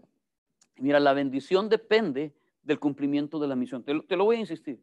La bendición depende del cumplimiento de la misión. La misión es glorificar a Dios llevando fruto y fruto que permanece. La misión es glorificar a Dios por una vida que le agrada, eh, por porque se refleja el carácter suyo y por una vida que lleva un fruto que permanece haciendo discípulos de Jesucristo. Ah, pero aquí viene la última pregunta con la que quiero cerrar. A los judíos les dijo, Abraham, quiero bendecirte. A Moisés, hey, si me obedecen les voy a, bendecir. Ah, y, luego llega a Mosajeo y le dice, hagan el templo. Yo los voy a bendecir, hombre, pero hagan el templo. Vamos a llegar a un pasaje cuando le dice, hombre, dejen de hablar tanto, súbanse al monte, traigan madera y hagan ese templo. Voy a bendecirles, pero háganlo. Y nosotros aquí, Señor, pero es que mira, es que fíjate que, eh, eh, mi hermano, aquí viene la pregunta. Yo sé que algunos da, ¿y Dios me va a bendecir si hago discípulos? Nos hemos hecho tan capitalistas en nuestra forma de pensar, tan capitalistas. Decimos, pues sí, hombre, pero, ¿y si hago discípulo me vas a bendecir? Fíjate que Dios es tan bueno que mira lo que dice este pasaje. Juan 15, 16. Dice, no me elegisteis vosotros a mí, sino que yo os elegí a vosotros y os he puesto para que vayáis y llevéis fruto y vuestro fruto permanezca. Y mira lo que dice al final. Para que todo, para que todo lo que pidiereis al Padre en mi nombre, Él os lo dé. ¿Sabes qué es esto? Eso es un cheque en blanco. No, pues usted está enseñando prosperidad. No, yo no escribí ese pasaje. Vamos a estudiarlo. ¿Qué significa la palabra todo? Todo es todo. Todo es todo. Cuando la Biblia dice que, que, que no quiere que ninguno perezca, sino que todos procedan al arrepentimiento, es todos. Claro que es todos. No, dicen algunos solo es una. Mira, todo es todo. Algunos cuando me alegan dicen, no, es que esos todos no son todos. Digo, cuando me dice que me perdona todos mis pecados, ¿cómo estoy seguro que ese todo no es, eh, en realidad eh, es todo o no es todo? Cuando la Biblia dice, para que todo lo que pidierais al Padre en mi nombre, Él os lo dé, yo te puedo asegurar que Dios va a cumplir su promesa. Yo te puedo dar mi testimonio. 41 años, tres hijos. No me falta nada. Ah, deseos, sí, llévame a un centro comercial y vas a ver que los ojitos se me alegran con todo lo que ve. Con todo eso quisiera tener en la casa. Pero le digo a mi esposa, si, si Dios nos da todo lo que le pedimos, dentro de poco mi casa va a ser el centro comercial. Porque si le pido de todo, no va a caber. Porque si todo lo que nos gusta nos lo da, ya no caben en la casa en la que vivimos. Cuando vives la misión, Dios, Dios te da todo lo que necesitas, todo, todo. Y yo, quiero que lo comprendas así. Si no te lo ha dado, es porque simplemente no lo necesitas. No, no lo necesitas. Déjate de matarte 24 horas por comprar el carro que quieras. Mira, cuando Dios sepa que lo ocupas, te lo va a dar. Hasta este punto he tenido dos carros y ninguno lo he comprado yo. Y tampoco fui a pedir y tampoco me gané la lotería. Estábamos en la misión allá en Corinto y andábamos un 22R. Una- un- y algunos de ustedes jamás van a volver a ver un 22R, ¿verdad? Y tan des- destartalado, desmantelado como el que nosotros andábamos. Y viajábamos una hora desde Corinto, porque predicaba en la iglesia de mi papá todavía. Y éramos tan felices en ese carro. Yo disfrutaba, ¿verdad? Que a medianoche en aquellas curvas y cuando vayan alguna vez a Corinto van a darse cuenta de lo que digo. Uno de esos días nos dijeron, mira, fíjate que estamos viendo que ocupas esto para la misión, aquí está. Ah, bien, también disfruté de ese nuevo carro. En 12 años lo hicimos pedazos, ¿verdad? Ahí está todavía vivo el pobrecito, pero fue a los cantones que tuvo que ir y ahora estamos en San Miguel y me dicen, ¿y no te da pena andar en ese carro? No, es carro mío. Un hermano me dice, ¿no te da pena ese carro? No, no, no. No me da pena porque este dice Josué Ramiro, claro, ese es mío. Fellito, viejito, pero es mío. Es lo que Dios me ha dado. Uno de esos días mi papá me dice, mira, usa la camioneta que yo tengo y entonces te mueves mejor. Un- pues, también puedo sufrirlo, ¿verdad? Un, carro más bonito, eh, en el que cabe más gente. Yo te puedo decir esto, Dios nos provee cada cosa. Pero no te vayas a ir de misionero y decir, ah, Dios me va a dar todo, entonces me voy. No, espera, primero comienza por glorificar a Dios, por dar fruto, por eh, disipular personas. Dios, Dios suple cada necesidad. ¿Por qué la misión entonces? ¿Por qué debo pensar que debo hacer la misión? ¿Por qué debo involucrarme en esto? Por al menos dos razones básicas. Porque la misión nuestra es glorificar a Dios. Por eso. Si todavía te pregunta, ¿por qué debiese yo meterme en la misión? ¿Por qué debiese meterme de lleno en la misión? Es porque este fue el mandato de Dios. Es porque, porque esta es la misión de la iglesia, glorificarle. Nadie que se meta a ser discípulos está equivocado. Eso es lo que Dios nos mandó. Por eso quiero estar en la misión. La misión no es un estado de fantasía en la iglesia donde llegan los mejores. No, no, espérame, espérame, espérame. Hacemos la misión porque Dios nos mandó a hacer la misión. Y una segunda razón es porque la misión desata la bendición de Dios. ¿Cómo vamos a aprender en el libro de Ageo partiendo de mañana en la mañana? ¿Quieres que Dios te bendiga? Métete en la misión. Sufre la misión. Y Dios suple cada necesidad en su momento. No te va a hacer multimillonario. No te va a dar lo que no necesitas. Te va a dar lo que Él ha prometido. Y Él va a bendecir lo que hacemos cuando hacemos la misión. Ah, yo sé que algunos me van a decir, pero mira, yo sé de algunos misioneros que han muerto. Sí, en ese preciso momento recibieron más bendición de la que tú te puedes imaginar. Porque si nos morimos en el hacer discípulos, si nos morimos yendo a las misiones, recibiremos de nuestro Señor la recompensa por cada cosa que hicimos para su gloria. Así de maravilloso es el Evangelio. Termino por invitarte a considerar participar de la misión sin más excusas, por favor. Es hora de meterte en la misión, cerrando tus ojos físicos y abriendo tus ojos espirituales y diciendo, Dios, si tú me mandaste a hacer la misión, voy a hacer la misión. Quiero retarte esta tarde. Lee el libro de Ageo, es bien cortito, son dos capítulos, que mañana vamos a comenzar a estudiarlo palabra por palabra, entendiendo dos cosas. Entendiendo que Dios le había dicho a Israel que quería bendecirle y entendiendo que nosotros tenemos una misión porque Dios quiere bendecirnos también. Y que la bendición depende del estado del cumplimiento de la misión. Señor, muchas gracias, muchas gracias por este tiempo, gracias por el privilegio de estudiar tu palabra. Te pedimos que mañana, si tú nos prestas vida, podamos comenzar a estudiar palabra por palabra el libro de Ageo y comprender que no podemos poner más excusas para cumplir la misión que nos has dado. Todo esto te lo pedimos en el maravilloso nombre de Jesús. Amén y amén. El Señor les bendiga, hermanos. Creo que estamos justo a tiempo, 10 para las 12. ¿verdad? Y esperamos que terminen. Nos vemos mañana. Que Dios les bendiga.